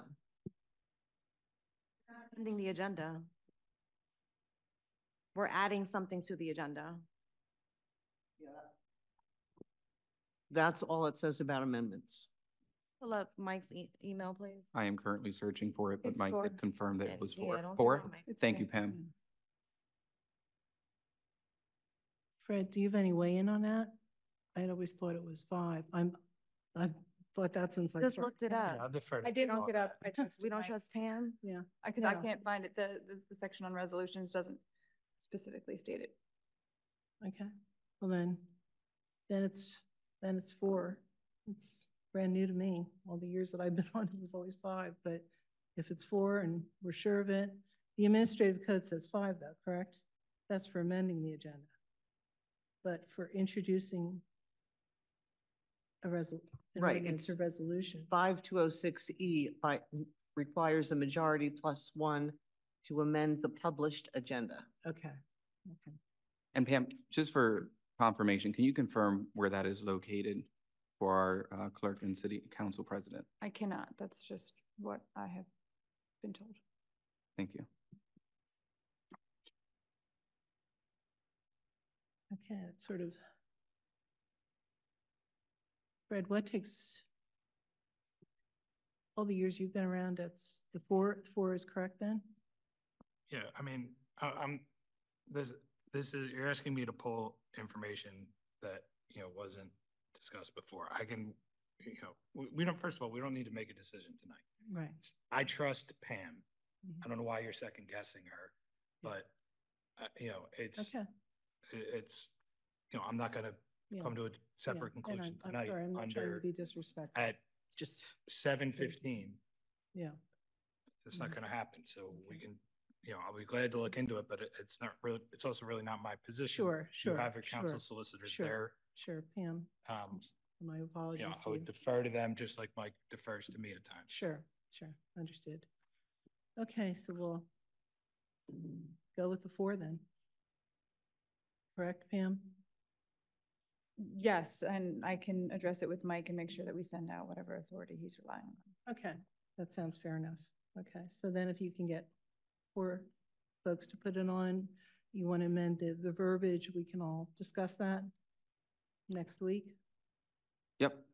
Um, I, there's I really look, I look forward to collaboration. You know, one of the things that, that, that I would have wished I could have accomplished was having more collaboration in the meetings that I had over the weekend, um, with people who have opposed this and saying, you know, let's work together and bringing something. But to say flat out no, I think is just not, not the right thing to do, um, seeing the circumstances. Okay, so we'll look forward to getting changed verbiage from you or some, and then maybe everyone else adding thoughts that they might have. Again, I just, I just want to keep in mind it in this city with, when we look at Census 2020, we have 60 nationalities of folks here in the city. We have, I'm sure, folks from Palestine, we have the Jewish population, but we also have Haitians here and the terrible things that are happening in Haiti, Ukrainians and Russians with the things that are happening in, in Ukraine. There's all sorts of things happening all over the, the world. And we're focusing just on one, you know, I, we have fatal shootings at Ninth and Franklin. It's, I just, I just feel strongly we need to look here first and the world. Melissa, go ahead. That's, that's my strong feeling. Great. I think that I council. welcome all the other opinions too. I think that council can take on multiple tasks, and this is one of them. You know, Chuck Schumer, our Senate Majority Leader, has said himself that Netanyahu, Netanyahu has lost his way. Congresswoman Madeleine Dean has called on a ceasefire. Chrissy Houlihan has called on lasting peace through negotiated ceasefire. These are our leaders who have spoken up. We look to them because they are our leaders. And what message are we giving our city and our residents where we're not, we're not willing to use our voice when these things are happening in the world? And to say that this is not local is a farce. Our tax dollars are going into this. It can go into our children's education, our infrastructure. And so, you know, I think it's very important to note that a national um, affair does pertain to local.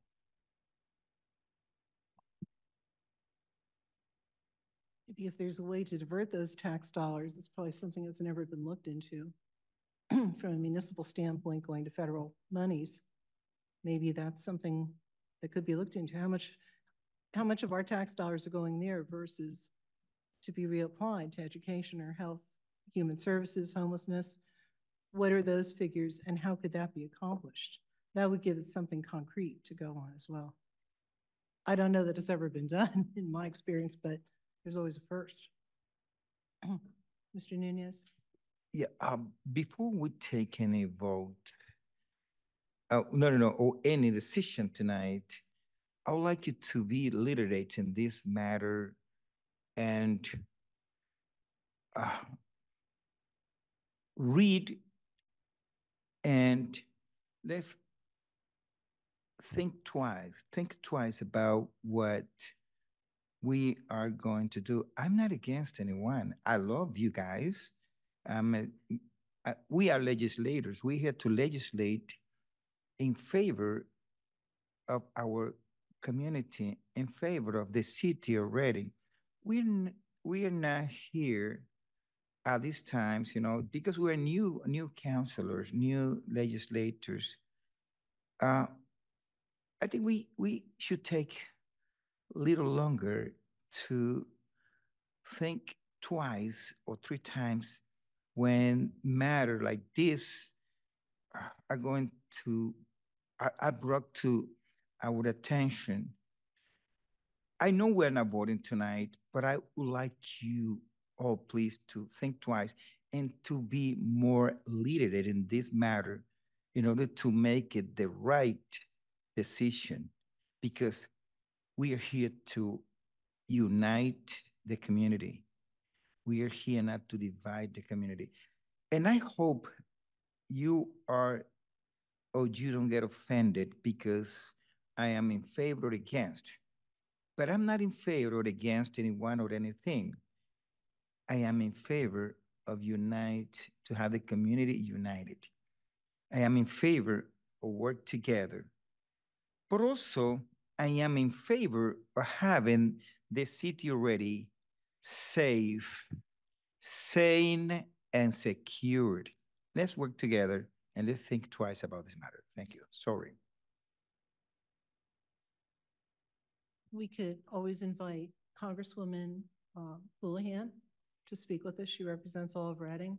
Get her perspective, and perhaps she could have someone from the State Department or someone well-versed to address this issue to go along with what you're saying from just gaining more intelligence about it and seeing what our Congresswoman has to say. So we'll take time. We're, we're taking time to do this. We're not taking this lightly. But I think having our Congresswoman address this, she's probably far, I, I'm, I'm pretty sure she's been over there, but she's certainly been to other areas of conflict. And she does have a bit of a military background. So I think we would learn a lot from her. If she's willing to address this council, we can put out that invitation to her. So-? So to clarify, because again, I'm not really following, where does the resolution stand and what exactly are we discussing? I am not happy that um Mr. Camacho um had to leave so suddenly. If he was going to make a presentation, I would have liked him to stay, stick around a little bit so that we can do some follow-up questions. I'm not sure of a situation why he had to leave, why it wasn't structured in a way that he did have the time to sit um, and then have follow-up. So right now, there's unanswered questions that I had to follow because he did present quite a lot of information that I think we had the right as the, as council body to follow up on some of those um, statements that he made, and we don't have that opportunity, but yet it is on record that he um, had that statement. So I'm, I'm not really sure if you have the answer, Council President, of why he had to leave suddenly, but I just feel like I, it was just so abruptly. Well, we were, we're really far behind on our schedules, you can tell from our time allotments. Right. I did not know prior to tonight that he had to leave early. He had alerted me that he had another meeting scheduled because he expected to present us a little bit, a bit sooner. Um, or he thought he was presenting a little bit sooner. I Um, checked the time as he was yeah, presenting. He yeah. was right on Yeah. time, so I wasn't, So. I just we didn't can- we can appreciate certainly that. Have him come back to answer your questions. Okay, so then where do we stand with the resolution so that I'm clear? Go ahead. No, I just, um, also have a question as to discussion on proposed leg- legislation on ceasefire. Where does it say presentation that he was presenting? Was that discussed with the body? No, it wasn't, and I asked him to come because he is one of our chaplains, Right, but one of our city chaplains. where's the transparency communication Okay. with the body? Okay. Okay, Okay, If we this is every week, okay? okay, I thought having Thank you. someone who was a member of the city chaplaincy, who was I on get that, site. but again, when, Okay. it- Next, would when- every, if we, if we do that, then it's an issue, it becomes a policy, it becomes everything. But it's okay coming from council president to not communicate with the body. okay, I thought it was. I'm just making a point, Okay, I thought it was. because it's not the inform- first time. I thought it was an informative discussion. Would everyone want? I to found that, I found that very weird as well and out of place. The fact that the Reading Film Fest says C. Harris, the person presenting, Redevelopment Authority, Implementation of Blight Strategy. We have F. Thompson presenting. And yet something was moved up on the agenda so that someone can present on it and no name was next to it that there was going to be a presentation. So there's a lack of transparency here. And, and we see it, the public sees it, and they are noting this, okay? The, c- the residents of, of this city deserve transparency from their elected officials. People voted for you to represent them and to make sure you're being transparent with them.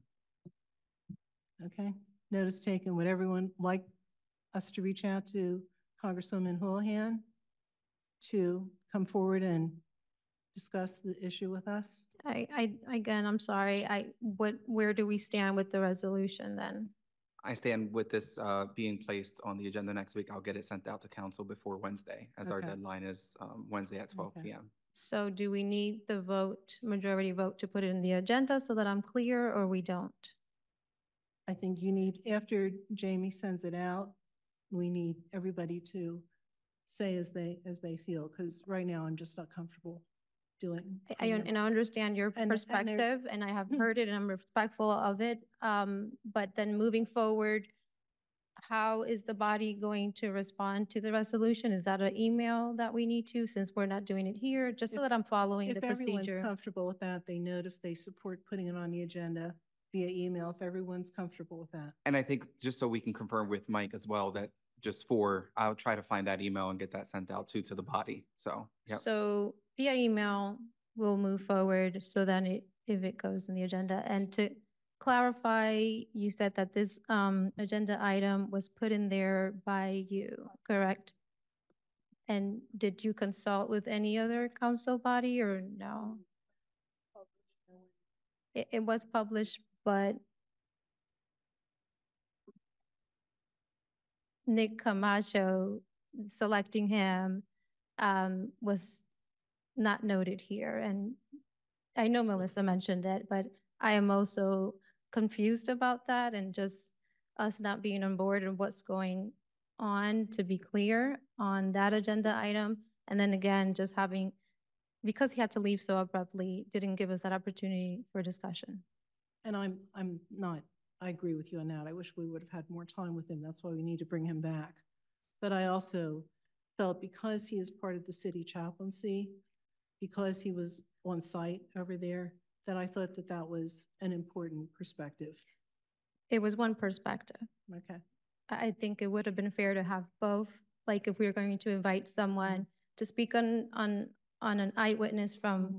one side, we should have both Yeah. If we do have, I agree with you. If we have an eyewitness that feels differently, I'm more than happy to entertain their conversation. And I just want to be clear that this resolution, I under, if I'm understanding correctly, Counselor Baez, this started with a constituent presenting to you a concern and doing the public comment regarding this. This does not come from someone outside of the city of Reading, am I correct? Correct. So this was presented by a constituent who lives in the city of Reading, um, who is neither of Jewish or Palestinian descent. Um, but I do want to note that within my district and outside of my district, and district, actually Chris Miller's district, District Six, um, there are also constituents who have uh, reached out um, supporting the ceasefire. Um, now, the constituents that I've seen who have opposed this uh, are not residents that I've, uh, uh, actually, there are two that I know that are from the city, but other than that, um, they, they are not city residents. Thank you. I just want to make sure that you are responding to your constituents as you were elected to do. And this is not something that came out of the blue. This is something that you are following up on, that was presented, that was a public comment that is coming from constituents in the city. And is a concern that I think council body, if it was to happen to any one, in any one of our districts, we are trying to respond to the concerns that are being presented to us. And if it's affecting our constituents, we are trying to address it. Um, uh, in my opinion, I, I, I think there's, and this is my, this is my follow-up to Mr. Camacho. I think there needs to be a definition on ceasefire. Um, there's, there, there's, there, there seems to be a misunderstanding of what that exactly means. Um, so I, I am in, in favor of, um, discussing it for, um, forward. Thank you. And I just want to note too, like, conversations have been had with multiple people um, at different levels of different um, ethnicities, religions, and, um, and so this isn't something that one I take lightly. It is something that I have had open dialogue. I, I have an open door policy when it comes to um, communication because I truly believe that communication brings about understanding. Um, but one thing that I have heard from both sides is the need for peace. And when, like, as you just stated, the, the definition of, of this, the word ceasefire really needs to be looked into. Um, and, and it is the first step to peace.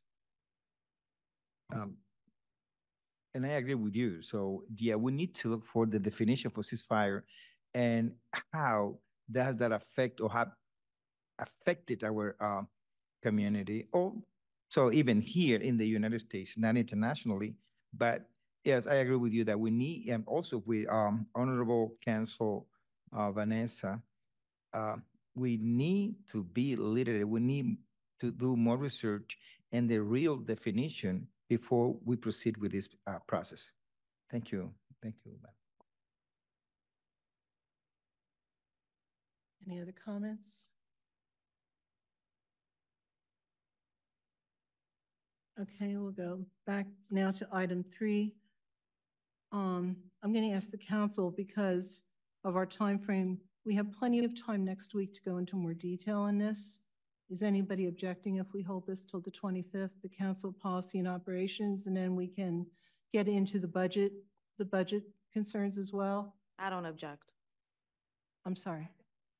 To moving it to next oh, week. Because we can, I know that Counselor Campos really wanted to talk about budget issues with council as well. And we will have time to do that as, along with the policy and operations. Sorry, is that in the agenda for the twenty-fifth? Because I didn't We- see that We in the have room to put it on if you're, if everyone's willing to move this item three to next week and we'll include budget issues as well. Okay. It's up to the body. Is everyone okay with that? Okay. Would you ask everyone to leave their copies behind, so I don't have to make copies of them again? Of the handbook? Oh, okay. Okay, Linda. Okay, if you don't mind, that's okay. Um, and then we will go in, because we're obviously going to be talking about this legislation, the ordinances next week. Can we, um, go forward on this with the administration? Thank you for being here. We'll just go through the, through the ordinances that we'll be considering next week. Um, Mr. Heim, do you want to take the lead on that, or Mr. Kelly? Uh, Just uh, ordinance A um, is, we finally filled the firefighter um, vehicle uh, technician position. So we're moving funding uh, from Public Works Garage um, into fire so that they have funding um, to pursue uh, vehicle repairs for fire apparatus. And then when we get to next year's budget, you'll see a new line item for fire apparatus repairs um, that they will be doing on their own, separate and apart from Public Works Garage. Thank you. Any questions on that? Okay. Thank you for your explanation. Then ordinance B, um, that's, that's regarding more or less the, the dirt bikes and that particular committee asked to extend the time frame so everyone has a little bit more time to, um, if they, they have ownership to come forward, that kind of thing. Exactly, the committee felt um, uncomfortable with only ten days for the property owner to have, uh, to verify whether they um, have paperwork for the vehicle. Um, They asked that it be extended to forty-five days. Okay, so this gives everyone more time. Any questions? Go ahead, James. Yeah, so I, I'm glad that you brought it up on what, um, so there's an extension so that the owner of the dirt bike is able to produce, I mean, dirt bikes are an obvious, um, nuisance right now. Um, you should be able to have your documentation. And so, uh, because of this and because of the nuisance that it is, um, I'm, I'm, I don't think that this is something that I'm comfortable with and moving it to forty-five days. I think if, you have ten days, get your paperwork, get your things in order. Forty-five days is giving them way too much, uh, the dirt bike owners, way too much leeway with how much, um, our, my constituents, even just over the weekend, I have received an email and a phone call, and I think I forwarded that to our city clerk to talk, um, to, to mention it to our police chief that, um, now up at the Pagoda, the weather is warming up and we're seeing dirt bikes, we're seeing races, and it's a nuisance. And so I don't think that it's extending them time is uh, gonna be good for us in the city. The only thing I can say is there are occasionally times when dirt bikes are stolen or these, and if someone can identify that their bike has been stolen, if the serial numbers match up, sometimes that becomes part of the issue. Is that part of what we were taught? I believe what we were talking about, matching serial numbers, matching that kind of thing for those particular bikes that are in, in, um, contention. It's not a whole lot. It's, it's very, I see what you're saying, but it's not a whole lot of bikes that are in that kind of scenario. Mr. Kelly, I don't know if you want to add anything to that, No, you covered the gist of it. but Um, the board recently met, I think we meet maybe two times a year, Linda, or as needed, as needed. Um, the timing of when the meeting was scheduled, um, and the time that the notification went out, um, that the seized vehicles were being destroyed was ten business days. Um, so that was the impetus for the board, uh, requesting that that, um, notification window, um, extend to forty-five days. So there's adequate time, uh, to make an appointment or what have you, to come into City Hall and verify that it's your vehicle. you could certainly make, you know, you can certainly amend the ordinance, Jamie, if you want, if you want to. Okay. Any other? Certainly there are concerns. I mean, I think we're all seeing it. We live on a main street near Schuylkill Avenue where I live, I mean, bypass Lancaster Avenue, it's happening all over the place. Perkiomen, so Thirteenth Street, I'm sure, Hampden Boulevard, everybody's being impacted in the city and even beyond, but, so if you'd like to amend that, feel free. No, you know, my fear is that as time goes on, it's only gonna get worse. Yeah. And So we wanna nip it in the butt before, um, it does get worse. Except There are a number of dirt bikes and ATVs that are now street legal. They have license plates, turn signals, and all the And other things required. yeah. It doesn't mean they still drive improperly, but now that they're driving improperly with a street legal vehicle. And that's where we hope that there, there's action taken by, we all know the concerns we've received from the police about pursuit and all that. It's, it's just a horrible scenario. It's horrible for any city or municipality, but those are, those are things we do, we're dealing with. So if you do want to make an amendment to that, feel free. Okay? Okay, the ordinance C is, um, the deed of dedication with a portion of Kent Corner Road and Lake Shore Drive with a parcel identification to the Township on Ontelaunee for the reconstruction of Bowers Road. Anybody, Fred? Yeah, I, this actually came from the solicitor from Ontelaunee because we own property out there.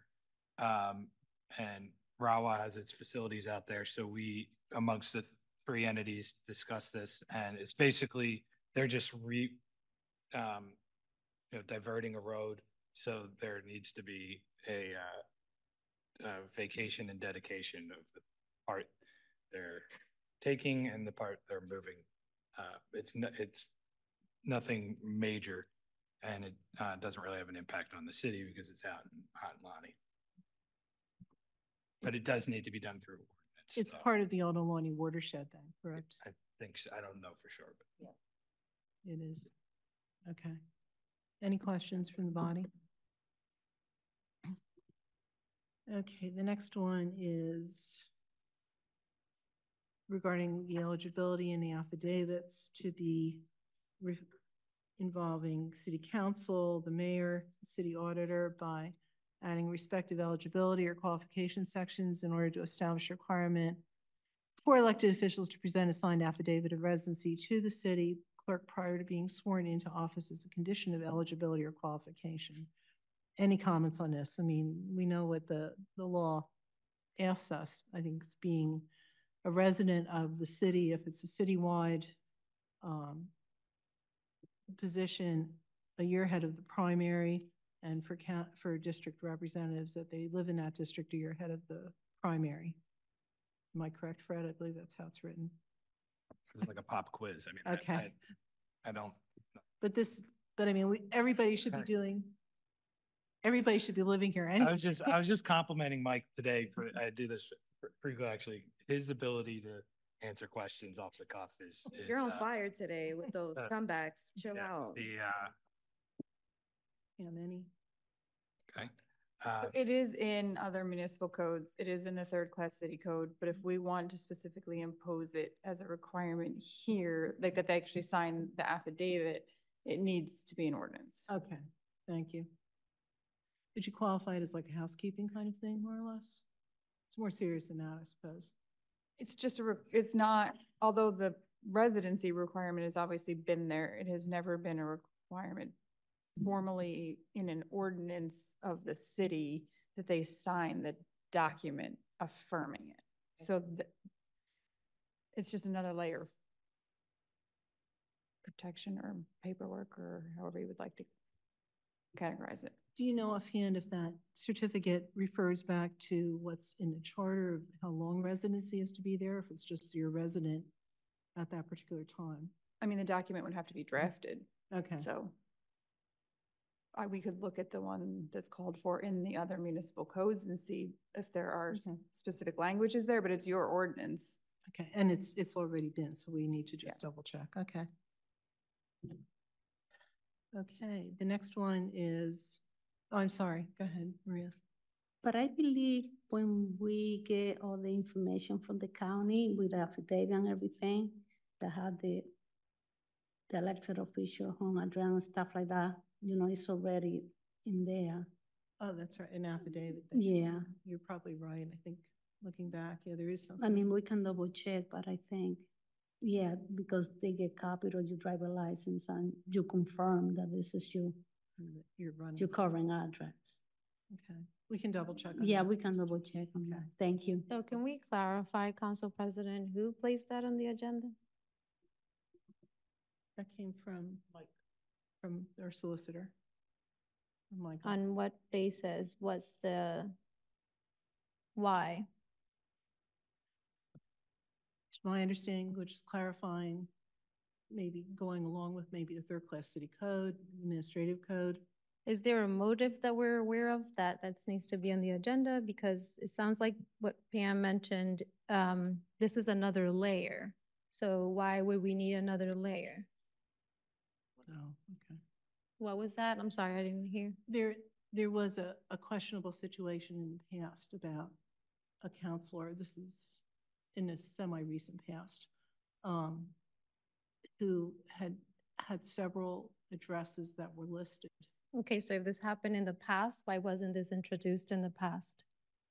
It's within a two-year past, so I'm sorry. No, it's okay, I know, but if it happened in the past, like why wasn't it I think it's trying to preclude, you know, you learn your lessons from the past, but I think it's trying to preclude anything like that from happening. Again, I think everyone has been above board in every way, but this just, this just legitimizes or ordains that we just expect everybody, I think our constituents expect us to live in the district in which we've, we've run and been elected.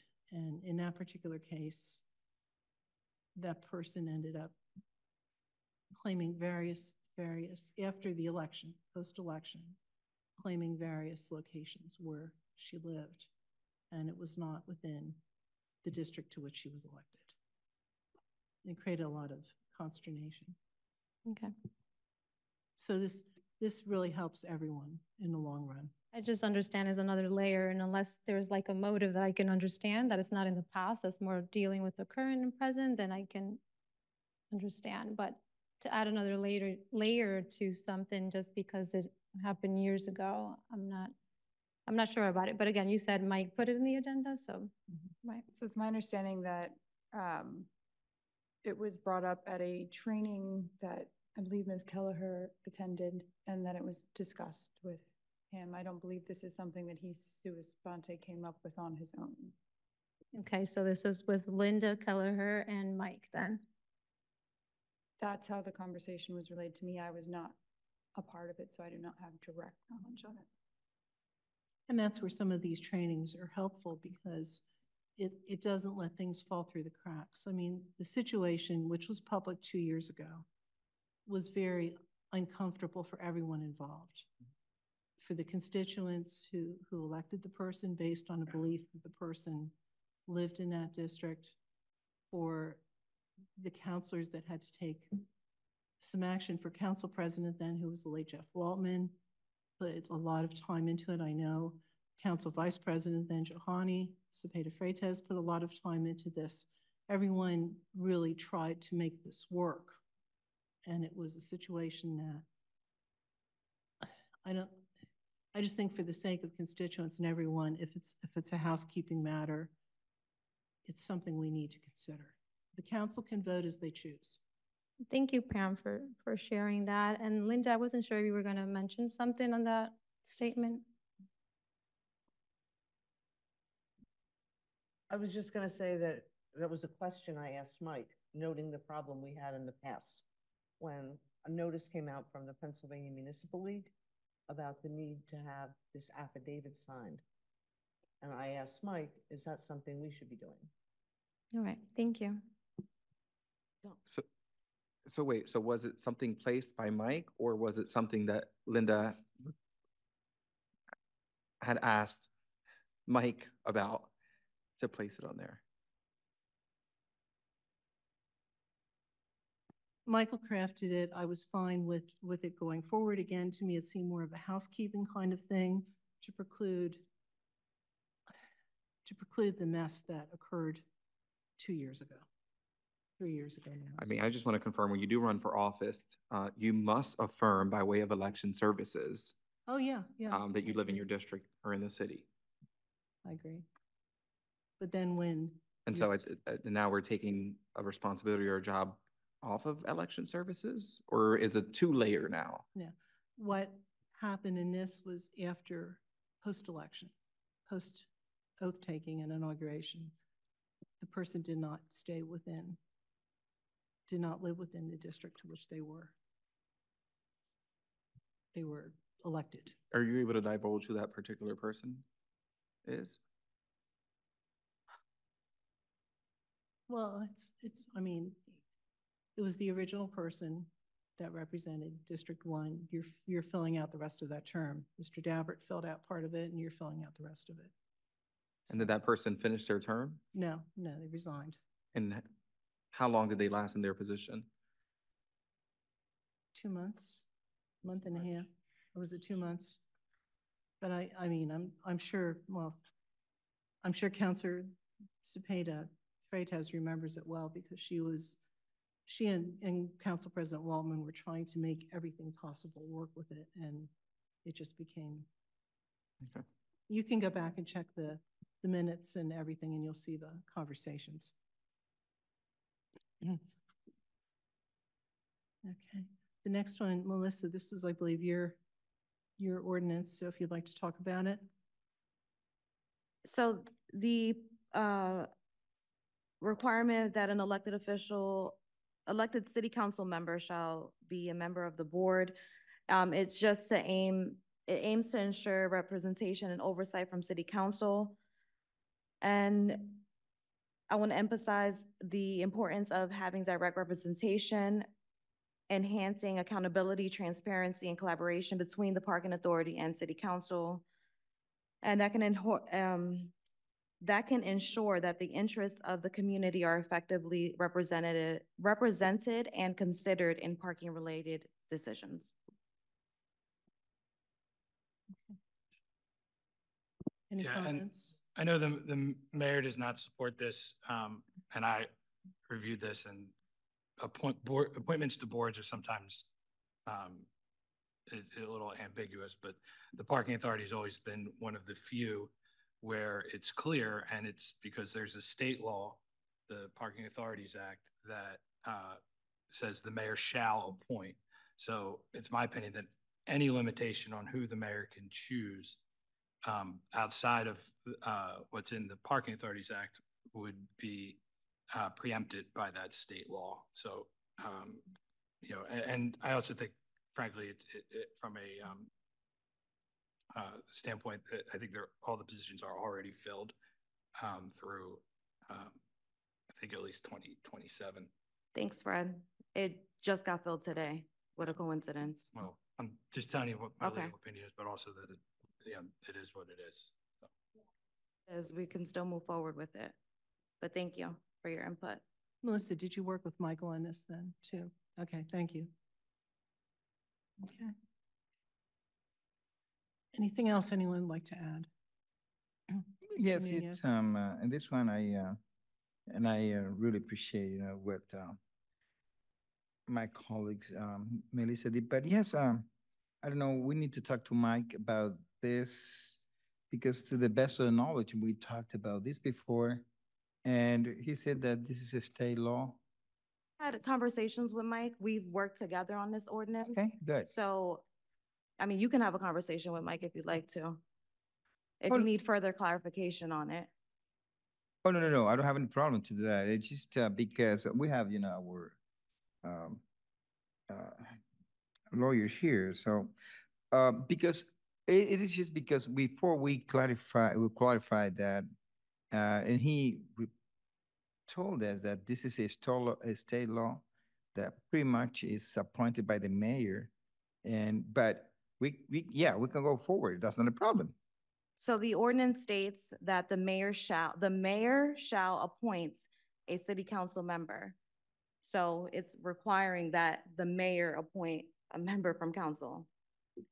So the mayor is making that decision to pick someone from council. Okay, thank you. You're welcome. Any other questions from the council? Okay. So Melissa, just to be clear, we, because of that, we can't, we couldn't appoint someone from within our body then, correct?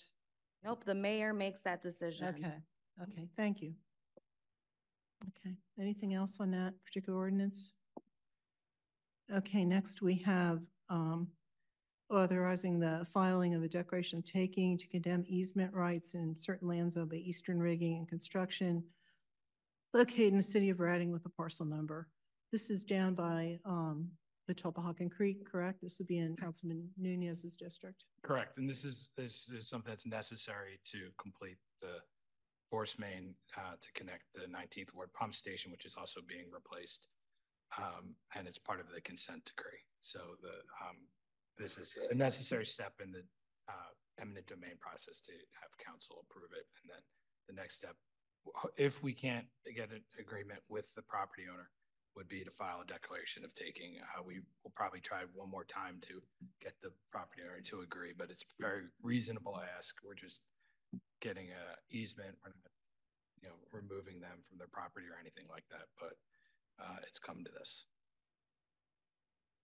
Okay, so you, everyone's been trying in the city to make, to negotiate, For a correct? very long time, yes. Okay. Any questions on that?